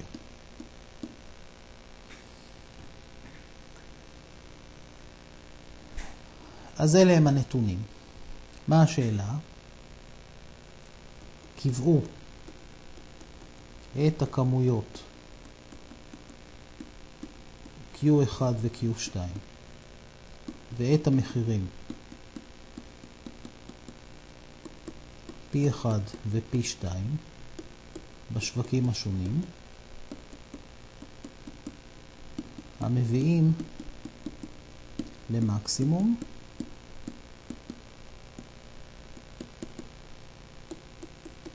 את רווח היצרן.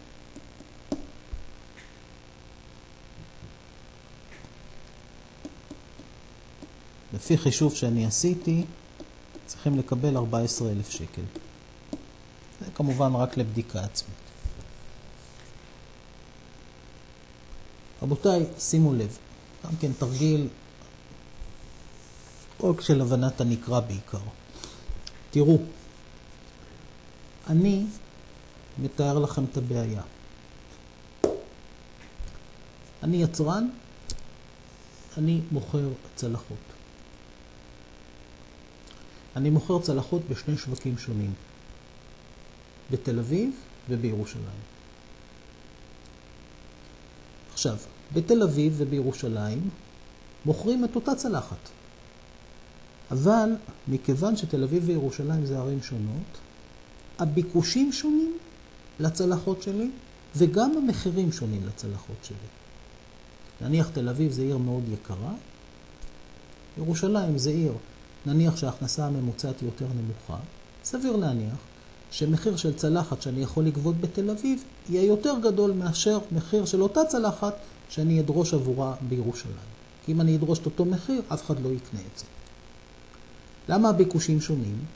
ערים שונות, גדלים שונים של אוכלוסיות, ביקוש שונה. אני את, הת... את הצלחות מייצר במקום אחר לחלוטין, נניח שאני מייצר את זה בכלל בבאר שבע. אחרי שייצרתי את כל הצלחות בבאר שבע, אני שולח לפי הביקוש שיש לי את הצלחות לירושלים, במחיר של ירושלים, וחלק מהצלחות אני שולח לתל אביב במחיר של תל אביב. כשאני עובד במפעל שלי בבאר שבע וקודם כל מייצר בכלל את הצלחות האלה, אז זאת העלות שלי. 3725 ועוד 10 פעמים כמות כל הצלחות שאני מייצר. ואחר כך אני מפצל את הצלחות, חלק לפה וחלק לפה, ומתקדם בחיים. מה שאני מחפש כיצרן זה תוכנית ייצור. מה זה תוכנית ייצור? כמובן תוכנית ייצור אופטימלית. ומה הכוונה? אני רוצה לדעת איזה מחיר לקבוע בתל אביב ובירושלים לצלחת, וכמה לשלוח צלחות לתל אביב וירושלים. כלומר, כמה לייצר באופן כללי, איך לחלק את זה בין השווקים, ואיזה מחיר לקבוע בכל שוק. כל זאת כדי שיהיה לי רווח מקסימלי. ואם אני עושה את הכל נכון, אז לפי מה שחישבתי בעבר, צריך לקבל 14,000 שקל. הערה, זאת שאלה שאין לה שום קשר, כמעט אין לה קשר למתמטיקה, זאת שאלה שהעתקתי מהקורס בתורת המחירים ב'. ופתרתי אותה, אני פותר את זה איתכם עכשיו ביחד, מאוד פשוט, רק לפי הבנת הנקרא, וכמובן בסוף תהיה, למ... תהיה לנו כאן מתמטיקה.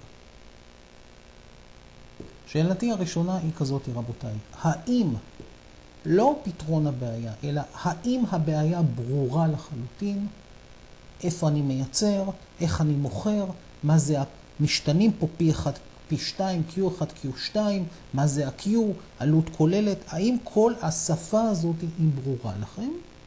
ואחר כך נפנה להמשך. בסדר רבותיי? זאת שאלה ראשונה, נמתין לתשובות שלכם.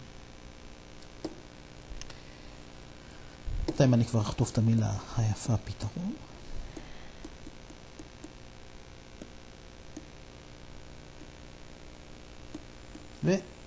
וננסה לראות אם אנחנו יכולים להתקדם.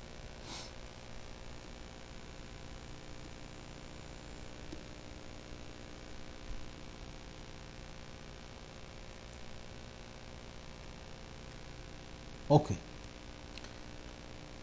שלום לך דורון איתן. אוקיי. רבותיי, אני רוצה לשאול אתכם שאלה כזאת. בשוק אחד בתל אביב, אני דורש עבור כל צלחת פי אחד שקל, והביקוש בשוק, הכמות של הצלחות בתל אביב, זה Q1. אז אם אני מוכר בשוק אחד Q1 צלחות, וכל צלחת אני גובה פי 1 שקל, הפדיון שלי בתל אביב זה פי 1 כפול Q1. הפדיון, ההכנסות שנכנסות אליי, הפדיון בשוק אחד, פי 1 Q1. אם הבנתם את זה, אין מה להסביר לגבי שוק 2.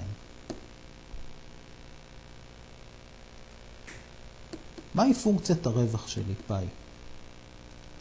כל הכסף שנכנס לי בתל אביב, ועוד כל הכסף שנכנס לי בירושלים, פחות, פחות מה? כמה שעולה לי לייצר. הנה כמה שעולה לי לייצר. 3725 ועוד 10Q. רבותיי, שימו לב, הפאי שרשומה, זה בעצם המודל הכלכלי.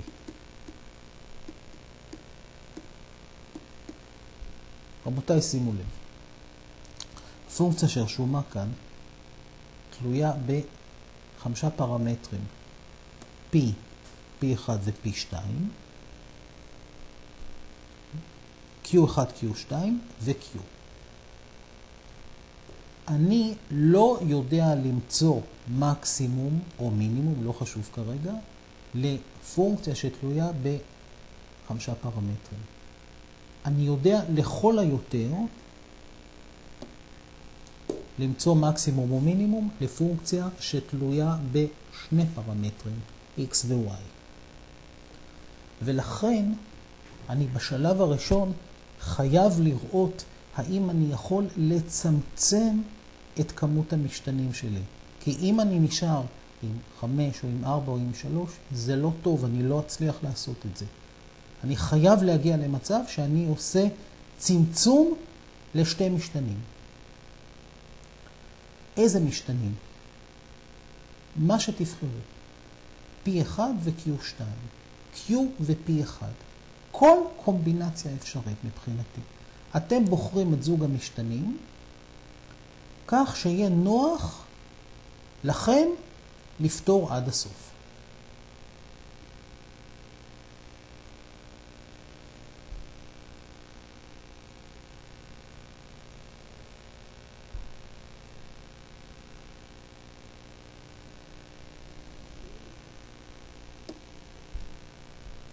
אוקיי?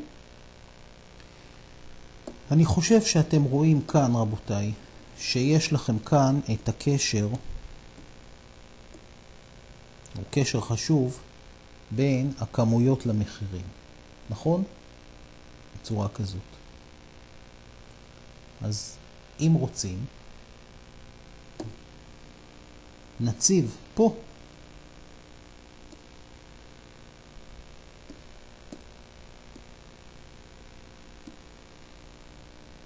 אוקיי? את הנתונים האלה שבמלבן הכתום. ברגע שאני אעשה את ההצבה הזאת, כל הבלוק הזה, אוקיי? יהיה תלוי רק במחירים P1 ו-P2. אוקיי? עוד לא, אני לא עושה את זה, אני רק מדבר לעצמי כרגע. פרט לזאת, אני חוכך בדעתי,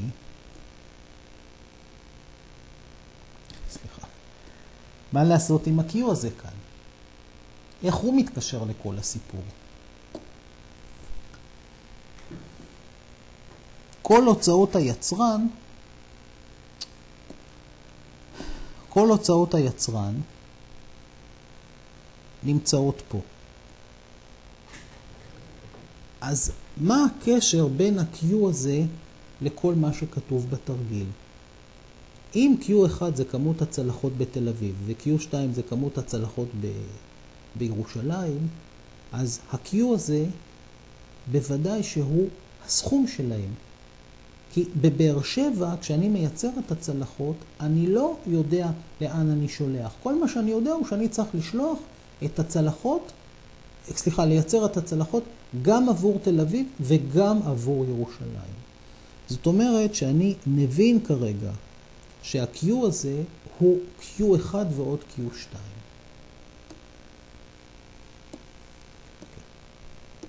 יש להבין כי Q הוא Q1 ועוד Q2.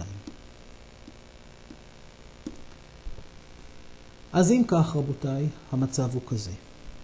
הפאי שלי הוא P1 כפול Q1, ניקח אותו מכאן, 240 פחות המחירים.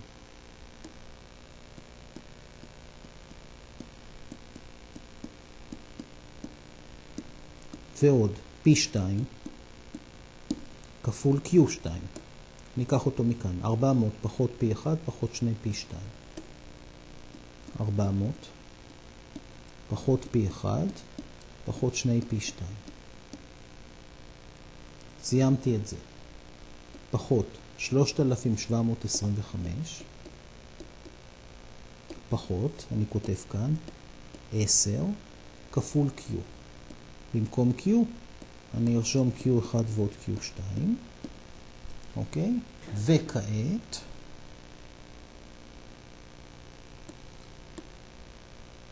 אני מעתיק את כל זה. רושם את זה כאן,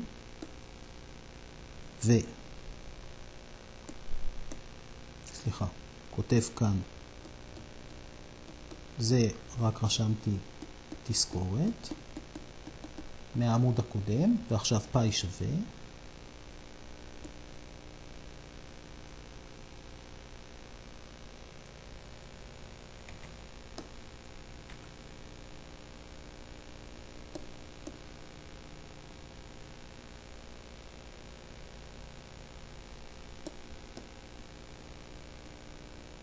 שם את זה כאן, פחות, פחות 10,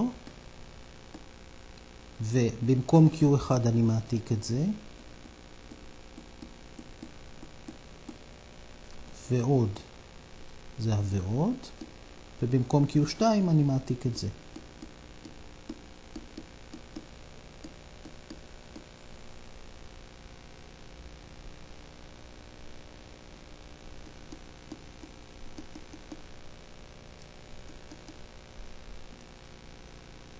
פאי שווה. ועכשיו רבותיי,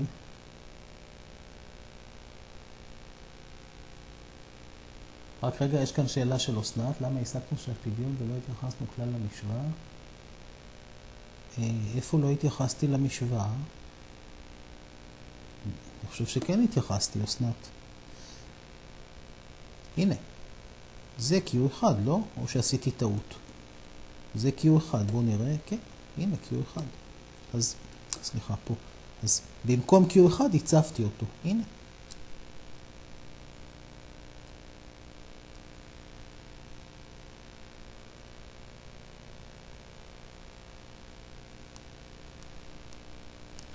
אוקיי, הגעתי לפה. ועכשיו רבותיי, כדאי לסדר את הדבר הזה. עכשיו, יש כאלה שפותחים סוגריים עד הסוף במהירות ואחר כך מקבצים איברים. אני עושה את זה טיפה אחרת. בואו רק נסתכל על זה לשנייה אחת. אני אעשה את זה בדרכי, תוכלו לבדוק בדרככם בבית אם יוצא לכם אותו דבר. אז ככה, P1 כפול P1 יש לנו מכאן ואין יותר P1 בריבוע. אז יש כאן מינוס P1 בריבוע. עכשיו, P2 בריבוע יש לי רק כשזה פוגש את זה. אז זה מינוס 2 P2 בריבוע. עכשיו איברים מעורבים, זה P1 כפול P2, אז יש ככה, כשזה פוגש את זה, זה מינוס 1, וכשזה פוגש את זה, זה עוד פעם מינוס 1, ופה אין איברים מעורבים, אז זה מינוס 2 P1 P2. עכשיו אני אקח את P1, בואו נראה כמה יש לי כאן. כאן יש לי 240. אין יותר P1, פה לא יכול להיות P1, נעזוב את זה, P1, P1 יש כאן, כאן יש לי, זה כפול זה, זה ועוד 10. ו-P1 יש לי כאן, אה, יכולתי כאן לפשט את זה, לא חשוב, אז זה ועוד 10, וכאן עוד פעם ועוד 10. אז יש כאן 240, 260, ועוד 260 P1.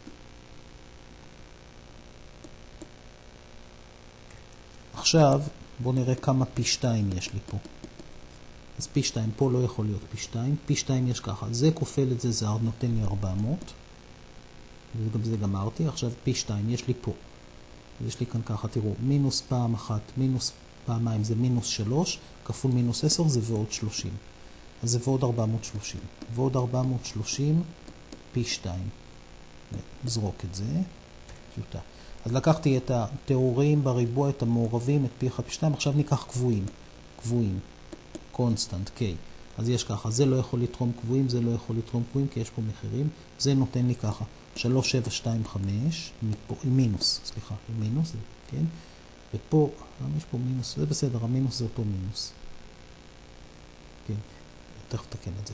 וכאן יש לי ככה, כאן יש 240 ועוד 400. 240 ועוד 400 זה 640. כפול 10, אז זה עוד 0, אבל עם מינוס. אז יש לי כאן מינוס, כמה זה? כמה זה?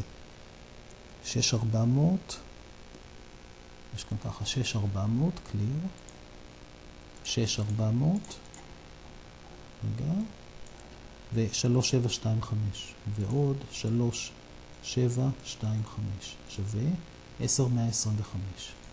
זה מינוס 10,125. וזה טיוטה. וכאן אני רק רוצה לציין שלא יהיה לכם בלבול, זה מינוס, זה לא מינוס מינוס, זה כאילו כאן ממשיכה הנוסחה, מינוס בלי המינוס הזה, כך שלא יהיה בלבול, בצורה כזאת. אוקיי, רבותיי, עכשיו כמובן, חס וחלילה אם עשיתי פה שגיאה ולו הקטנה ביותר, כל התרגיל יתפקשש. אז אני מקווה שעשיתי את זה מספיק ליד והכל פה נכון, בסדר? אבל אם... אם עשיתי פה שגיאה אני ממש מתנצל מראש. נראה לי שזה יצא בסדר, אני מקווה, למרות שפה קצת אני תמיד מרוכז. אולי יש... אה, אוקיי. אז עכשיו כאן רבותיי, שימו לב, אני יכול למסגר את זה. נשים את זה כזה ממסגרת כזאת, אוקיי? ואני מודיע כעת, אוקיי? מצאנו את הרווח של היצרן, אוקיי? כתלות במחירים פי 1 פי 2. נותר למצוא מקסימום. מכיוון שפאי תלויה רק בשני משתנים, במקרה הזה פי 1 פי 2, אין בעיה להפעיל את המשפט. לפני שנעשה את זה, אני רוצה להשיב כאן ל... אמ, לאסנת פה יש איזושהי שאלה. רגע, איפה אסנת? שאלה. אוקיי. אסנת, תסתכלי, ה-Q, ה-Q, קודם כל, לא, לא, לא, אסנת, יש לך טעות ובלבול במושגים. ה-Q, קודם כל לא יכול להיות שה-Q יכול להיות פי 1 ולא יכול להיות פי 2. Q זה תוצר, quantity. וה-Q, איפה כאן? ה-Q הוא Q1 ועוד Q2. עכשיו, כשאני כותב כאן את הפדיון, אסנת, גם פה וגם פה, אני כותב פה את הפדיון בשוק הראשון, נניח תל אביב, ופה אני כותב את הפדיון בשוק השני. ואני מחבר את הפדיון בשני השווקים. זה, אני מקווה שזה מסביר.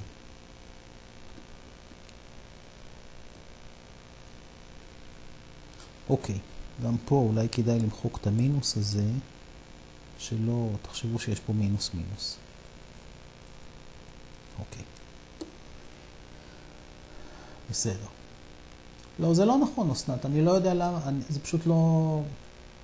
זה פשוט לא נכון, אסנת, שהפדיון Q יכול להיות מוכפל בפי 1 פחות פי 2. אני פשוט לא יודע למה את uh, טוענת טענה כזאתי, את כנראה מתבססת על משהו שלמדת בכלכלה. אני לא יודע מה לימדו בכלכלה, זה גם לא נראה לי נכון, לא במתמטיקה ולא בכלכלה. אז פשוט לא יודע, לא יודע למה זה נכון. אוקיי, אז אני לא יכול אה, לענות לך על זה. איפה עוד למעלה? פה. אוקיי? אני לא, לא רואה למה צריך... אה, לא, לא ברור לי. אוקיי? כלומר, הנחת העבודה שלך ש-Q יכול להיות כפול פי 1 מינוס פי 2, היא, היא פשוט לא נכונה, לא מתמטית ולא כלכלית. אוקיי, רבותיי, זאתי הפונקציה פאי, צריך למצוא לה מקסימום. אוקיי, תכף אנחנו נראה למה הבאנו את התרגיל הזה. כי התרגיל הזה, רבותיי, נכון שיש כאן הרבה הבנת הנקרא, ואולי זה נראה לכם מאוד יפה ומלהיב, אבל דווקא מה שחשוב כאן זה הצד המתמטי, שעכשיו אנחנו נחשוף אותו, שהוא שונה מהצדדים המתמטיים של התרגילים הקודמים, ואתם מיד תראו מה ההבדל. אז בואו נסכם כרגע את התרגיל בצורה כזאת. היה לנו סיפור כלכלי. כתבנו הסבר כלכלי ומודל מתמטי, הכל מתמצא בנוסחה הזאת שמופיעה כאן במלבן. כעת מבחינתי יש פונקציה של שני משתנים שקוראים להם פי 1 פי 2 וצריך למצוא מקסימום. אוקיי? אני חוזר על זה עוד פעם. כל הסיפור הכלכלי מתמצא בנוסחה אחת ארוכה של פונקציית הרווח, שמופיעה פה במלבן. הפונקציה הזאת היא תלויה בשני משתנים, במקרה שלי זה פי 1 פי 2, וכעת אני צריך למצוא לפונקציה הזאת מקסימום.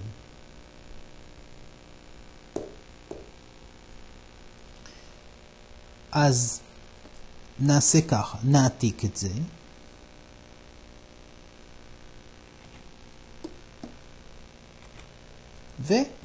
וניגש למציאת המקסימום. ומיד כשנגיע לחלק המתמטי שבשבילו הבאנו למעשה את התרגיל הזה, אז נגיד את זה, נגיד את ה... נציין את הדבר הזה. אז קודם כל, אה, הערה ראשונה, כן, אתם רואים, המשפט כאן כתבתי נגזרת לפי x, נגזרת לפי y, אבל אנחנו הרי רגילים שאנחנו לפעמים מסמנים את זה, ב, גם את הנגזרות, בסימון כזה עם מספר f1 ו-f2. אז דווקא פה, לדעתי, יותר נוח לכתוב פאי אחד מאשר למשל דבר כזה. אוקיי? דווקא פה הכלכלנים עשו לנו את העבודה יפה, ויותר נוח לכתוב פאי אחד מאשר פאי לפי, נגזרת לפי פי אחד, זה נורא מעצבן. אז נשתמש בסימון הזה. פאי אחד, כלומר נגזרת לפי המשתנה פי אחד. לכתוב את זה אולי? אוקיי? פאי אחד, אוקיי?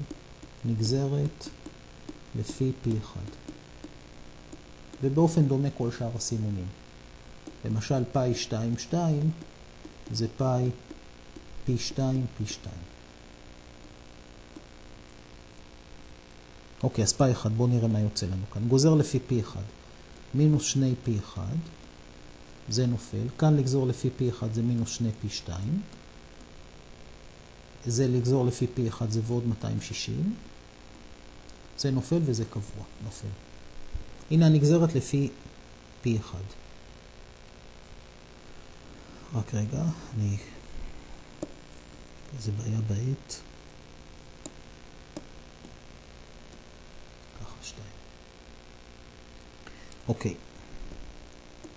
נגזרת לפי המשתנה השני, זה נופל, כאן יש לכם מינוס 4 פי 2.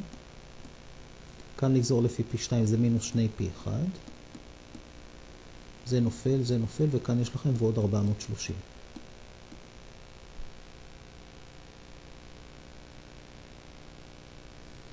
אוקיי, תנאי הכרחי, ועכשיו מגיע החלק המתמטי, תשימו לב היטב, מיד אני אדגיש אותו, תנאי הכרחי, מאפסים את הנגזרות,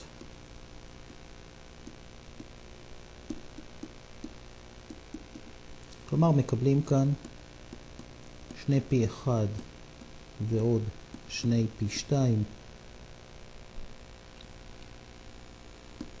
שווה ל-130 וכאן 2 פי 1 ועוד 4 פי 2 כן, שווה ל-430. למה 130? אה, צמצמתי כבר בעל פה, סליחה. מתנצל. סליחה, כבר עשיתי איזשהו צמצום בראש. זה 260 כמובן. אוקיי? בצורה כזאת. זה תנאי הסדר הראשון.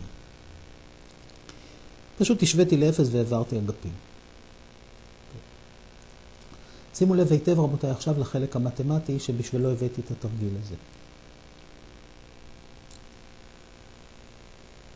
זאת הייתה תחילת השיעור, זאת הייתה דוגמה ראשונה. תסתכלו כאן רבותיי במערכת המשוואות הזאת.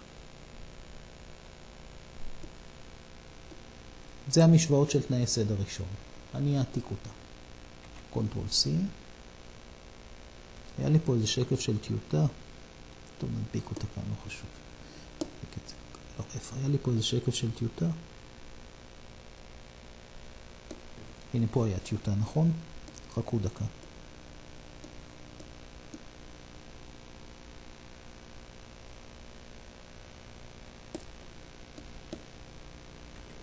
זה היה...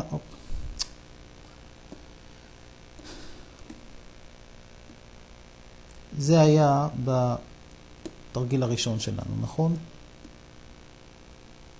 אוקיי. זה היה התרגיל הראשון שלנו. עכשיו נלך לתרגיל הבא שלנו, שהיה, זה היה פה. זה היה התרגיל הבא שלנו. control C, איפה הטיוטה? פה. נדביק את זה, control V. לא חשוב, אני פה, זה לא משנה כרגע, בזריזות, כל זה לא חשוב כרגע. גם זה לא חשוב, זה מה שחשוב לי. היה לנו זה. כאן, בתרגיל הזה עם המכונות, כן, יש פה גם כן דבר חשוב. הנה, זהו, מאוד חשוב, נעתיק את זה רגע. קיבלתי את זה, control C. איפה הטיוטה פה? פה, נדביק, תכף תראו. אוקיי. שימו לב רבותיי, לא להתייאש. אתם מבינים שאם אני עושה את הדבר הזה, כנראה שהדבר הזה הוא חשוב לנו. אז רק רגע, וזה היה שווה 0, שווה 0, ו... נכון, יש לנו את זה. שימו לב רבותיי לדבר הבא. זה, בכל התרגילים שעשינו עד עכשיו, אלה תנאי הסדר הראשון שהיו. הירוק, השחור והדבר הזה, הכתום הזה. אוקיי? בכל אחד מהעיגולים האלה מופיעות שתי משוואות, שתי שורות. גם בתרגיל שלי, שתי משוואות בשתי שורות. בכל זאת יש הבדל מהותי בין זה, בין המערכת הזאת, נקרא לה ירוק, ובין זה. סליחה, איפה זה? ובין זה. מה ההבדל? פה ופה. נעזוב רגע את המערכת הזאת. פה ופה, אוקיי? משוואות כאלה נקראות משוואות, שימו לב, לא מצומדות. כלומר, שתי משוואות בשני נעלמים, אבל בכל משוואה, בכל משוואה מופיע רק אחד מהנעלמים. המשוואות לא מצומדות, לא מעורבבות, המשתנים לא מעורבבים. שתי משוואות, אבל המשתנים מופרדים. הנה כאן, הנה כאן, משוואה ראשונה, משוואה שנייה, משוואה ל-x, משוואה ל-y. גם כאן משוואה ל-x, משוואה ל-y. משוואות כאלה נקראות משוואות לא מצומדות. לעומת זאת, כאן יש לכם משוואות, שתי משוואות, בשני נעלמים, והמשוואות הן מצומדות. כלומר, בכל אחת מהמשוואות מופיעים שני המשתנים. ולכן כאן מאוד מאוד חשוב להבין את המילה לפתור, את המילה הזאת, לפתור. ואיך פותרים, זה כבר נתון לשיקול דעתכם, אבל צריך להבין כאן שההדגש כאן הוא, הדגש כאן הוא על פתרון שתי משוואות בשני נעלמים, כמו שכל אחד יודע, לא חשוב כרגע מתיכון או לא משנה מאיפה. בסדר? וזה שונה מהטיוטות האלה שהראיתי לכם, שהמשוואות היו לא מצומדות, שם זה היה נורא קל. משוואה אחת התרכזה ב-x, מצאת אותו, משוואה שנייה התרכזה ב-y, מצאת אותו. אבל זה לא בהכרח ככה בכל תרגיל. אלה תרגילים פשוטים מאוד. תרגילים רגילים, רציניים, המשוואות יוצאות מצומדות, ואז אתה צריך לפתור את המערכת. אני חושב שהבנתם את זה, יש לי תחושה כזאת. עכשיו איך לפתור את המערכת זה כבר עניין אינדיבידואלי, תלוי ביכולות שלכם. אני הייתי זורק פה 2 בתור התחלה. זה ה-130 שחשבתי עליו פה שכבר כתבתי, וגם כאן זורק 2, אז יש כאן פי 1 ועוד hey, פעמיים פי 2. כאן יש 215, נכון? 215. עכשיו איך נפתור את זה? נחסר את המשוואות. אז זה נופל, וזה פחות זה נותן לכם. אה, זה מיידי, זה נותן כאן את פי 2. נשים על זה כוכב כדי להדגיש את זה. זה נופל, זה נופל, וכאן 215 פחות 130, כמה זה? 5 פחות 0 זה 5. 1 פחות 3, כמה זה? 11 פחות 3 זה 8, כן? 85. ופי 1 כוכב, פשוט לוקחים את ה-85, מציבים אותו איפשהו. אז אם זה 85, כן? סליחה, זה 85 וזה 130, אז כמה חסר לי פה? 30 ועוד 15. 30 ו-15 זה 45. אבישי, אתה צודק, סליחה, באמת הייתי... אה, אתה צודק 100%, אני פשוט לא הסתכלתי בצ'אט, זה, זה הפתרון. אוקיי? אז זה המצב, רבותיי. ואולי תעשה לנו טובה קטנה, אבישי. תוכל לחשב לנו את הכמויות? אני בינתיים אעשה משהו אחר. בסדר? אז הנה, פתרתי את המערכת, מצאתי את זוג המשתנים שאותו אני מחפש. מיד אני גוזר את הכמויות, זה ברור שאני עושה את זה לפי הביקושים. יש לי את המחירים, אז יש לי את הכמויות, זה ברור לחלוטין. תכף אבישי ייתן לנו פה את שני המספרים האלה. בסדר? את שתי הכמויות פה. ו... אמ, מה עוד נשאר לי? להוכיח שזה קיצון. למה קיצון? סימן שאלה. אז ניגש לפה, תנאי סדר שני.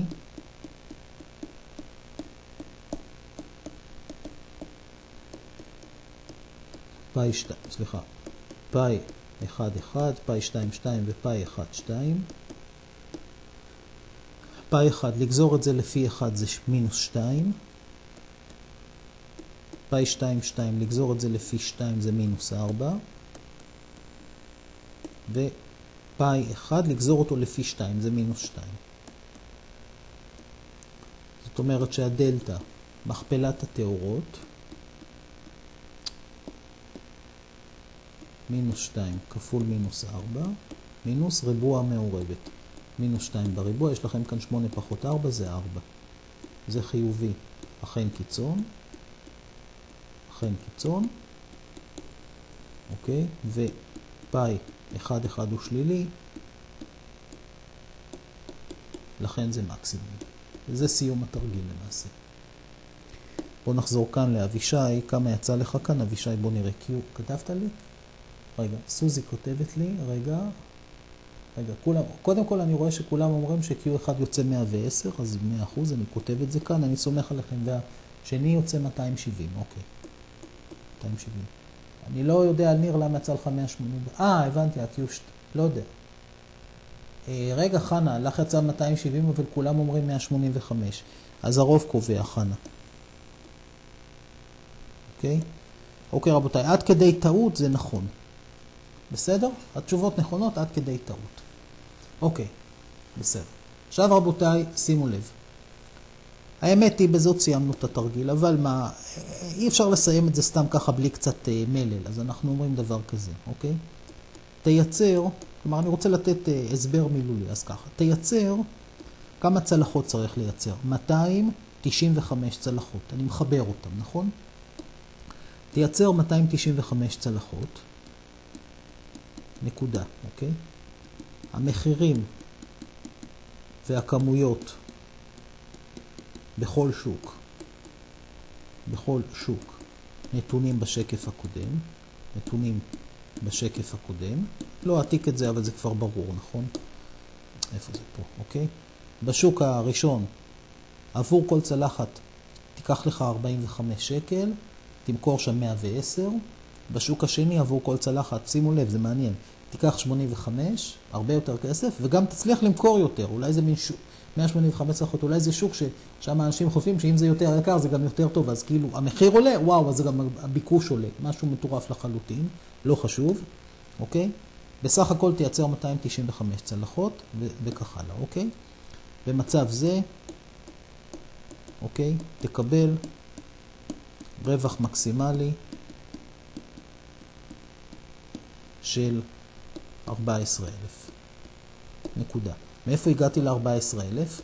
האמת היא שאני פשוט זכרתי את זה מכאן, אבל זה רמאות כמובן, בסדר? צריך לקחת את המחירים, שני המחירים האלה 45 ו-85 מפה, ולהציב את זה כאן בנוסחה המפלצתית הזאת, לעשות את כל החישובים. אני מוכן להמר בוודאות שזה יוצא 14,000 שקל. בסדר רבותיי? זה המצב. עכשיו, וכמובן צריך להגיד, כמו שאמרתי בבעיה הקודמת, כל חלוקה אחרת, או ננסח את זה ככה, כל כמות ייצור אחרת וכל קביעת מחירים אחרת בשווקים לא תביא אתכם ל-14,000 שקל. בסדר? זה נקודת מה שנקרא מקסימום גלובלי כזה. בסדר? אם אתם רוצים סתם בשביל הקטע, אוקיי? קחו לכם, יש לכם פה את זה. איפה המודל? פה. סתם, תחליטו שאתם קובעים שהמחירים, למה אני עכשיו ממציא? לדוגמה שהם שווים. נגיד, מה זה נקרא שווים? 50 שקל לצלחת. בכל שוק. אז אם פי 1 שווה פי 2 שווה 50, מפה תמצאו את Q1, מפה תמצאו את Q2, תבנו את הפדיון, תבנו את ההוצאות, אני מבטיח לכם שלא תגיעו ל-14,000, תגיעו להרבה פחות. בסדר? כי זה מה שנקרא מקסימום גלובלי על כל הפונקציה. בסדר? 100%. בסדר, בסדר, זה לא, רבותיי, לא משנה כל כך, כל, ה, כל החישובים כאן לא משנים. בסדר, רבותיי, זה מובן? כלומר, זאתי, מה שחשוב כאן להבין שזאתי אה, תוכנית הייצור האופטימלית. זאת אומרת, כל קביעת מחירים אחרת וכל כמויות אחרות לא יביאו אתכם ל-14,000 שקל. רק המחירים האלה והכמויות האלה. ובאמת יפה לראות את זה עם... לעשות איזשהו ניסיון, לקחת סתם שני מחירים פה, לקחת סתם שני מחירים שונים. אני עכשיו ממציא, כן?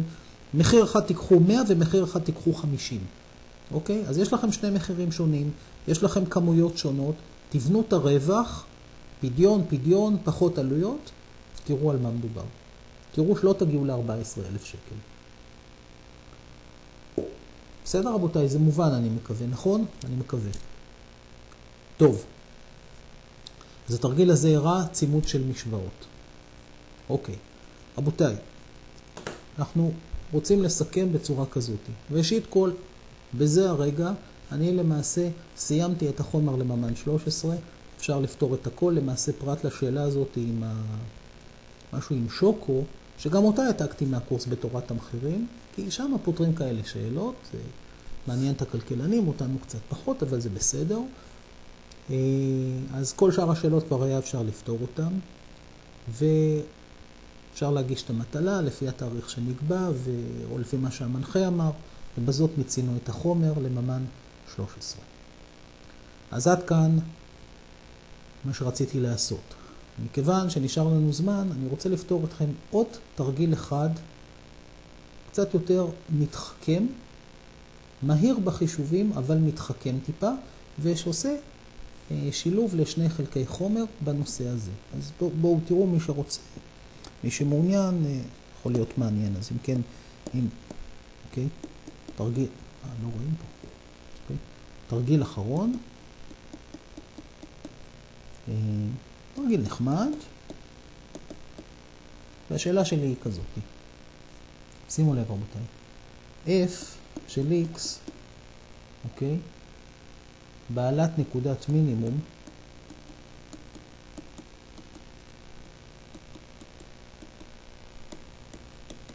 עבור x שווה 7. f של x כמורה לכל x. כלומר, יש לנו שני נתונים, זה נתון ראשון וזה נתון שני. שימו לב ש-f של, שימו לב ש-f של x היא פונקציה של משתנה אחד כמו בפרקים הקודמים שלנו. עכשיו, אני אומר ככה, נגדיר פי של xy את הפונקציה הבאה. y פחות 2 בריבוע ועוד f של x. זאת הפונקציה שלי. כלומר, שימו לב, f היא איזושהי פונקציה ארטילאית שאני לא יודע אותה, אבל אני יודע שני דברים. קודם כל, אני יודע שהיא תמיד כמורה, זה הנתון השני, ואני יודע שיש לה נקודת מינימום ב-x שווה 7. לוקח את ה-f הזאת, מחבר לה את x, את, סליחה, את y מינוס 2 בריבוע, קיבלתי כאן פונקציה של שני משתנים, קראתי לפי, והשאלה שלי היא, הוכיחו כי 7, 2 נקודת מינימום של פי.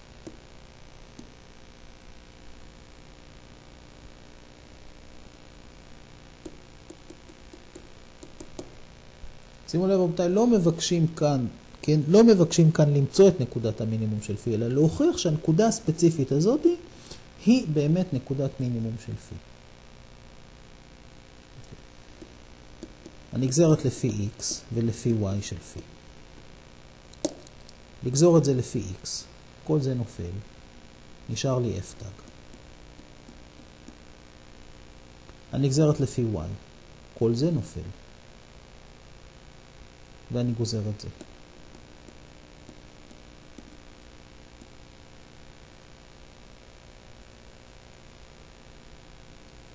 רבותיי,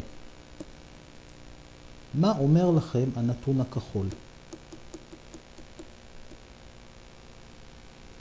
ש-f היא בעלת נקודת מינימום ב-x שווה 7.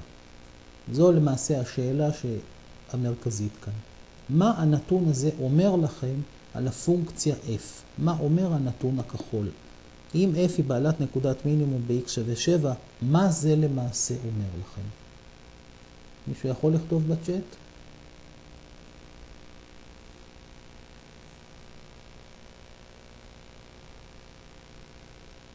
אוקיי רבותיי, מי שנשאר פה, אז אני שואל עוד פעם, אם אתם חושבים רגע, f בעלת נקודת מינימום עבור x שווה 7. והשאלה היא, מה זה אומר לכם על הפונקציה f? איזה נתון ניתן לדלות מתוך המשפט הזה שמסומן כאן בעיגול כחול? יפה מאוד נראה. f תג של 7 שווה ל-0. כי זה תנאי הכרחי לקיצון בפונקציה של משתנה אחד. אוקיי, אז אם כך, x שווה 7 מאפס את פי x ו-y שווה 2 מאפס את פי y. x שווה 7 מאפס פה ו-y שווה 2 מאפס פה.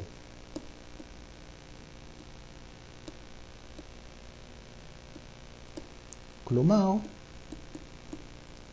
7-2 חשודה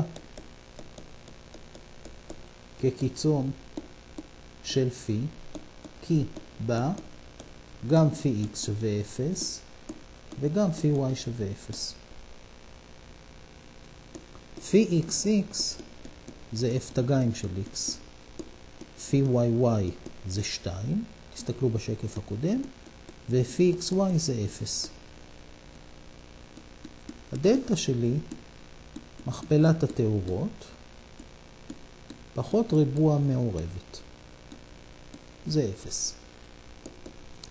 קיבלתי כאן f תגיים של x כפול 2. מה אומר לכם, רבותיי,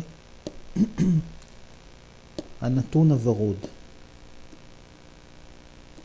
מה זה אומר לכם? ש-f תגיים היא כמורה לכל x. מה ניתן לדלות מהנתון הוורוד?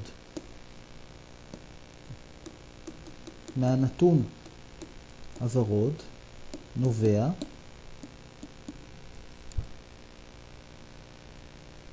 כן, בדיוק טליה, זה מה, ש... זה מה שכתבת ואני חושב שזה מה שגם אבישי התכוון. אוקיי? זה מזכיר קודקוד, רביל, זה מזכיר, אבל זה לא חייב להיות קודקוד. כן, רבותיי, עוד פעם, מה נובע מהנתון הזה שמסומן כאן בעיגול ורוד? בדיוק הפוך, ניר. תסתכל טוב על המילה. אוקיי? כמורה זה גדול מ-0. ומי גדול מ-0? מה זו פונקציה כמורה לכל x? נכון? בואו אני אכתוב את זה כי אנחנו כבר קצרים בזמן.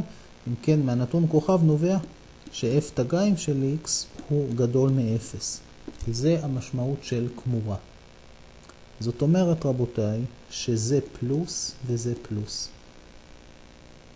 אז אם דלתא גדול מ-0, כלומר, דלתא גדול מ-0, ולכן קיצון, okay? אוקיי? וגם פי yy חיובי, ולכן מינימום. וסיימנו. אוקיי? אם כן רבותיי, קצת היינו זרזים, אבל תוכלו לחזור על התרגיל האחרון בבית אם תרצו, זה תרגיל מעניין. וזהו, נמצה את היום במפגש הזה, ושבת שלום לכם ולהתראות בשידור הבא.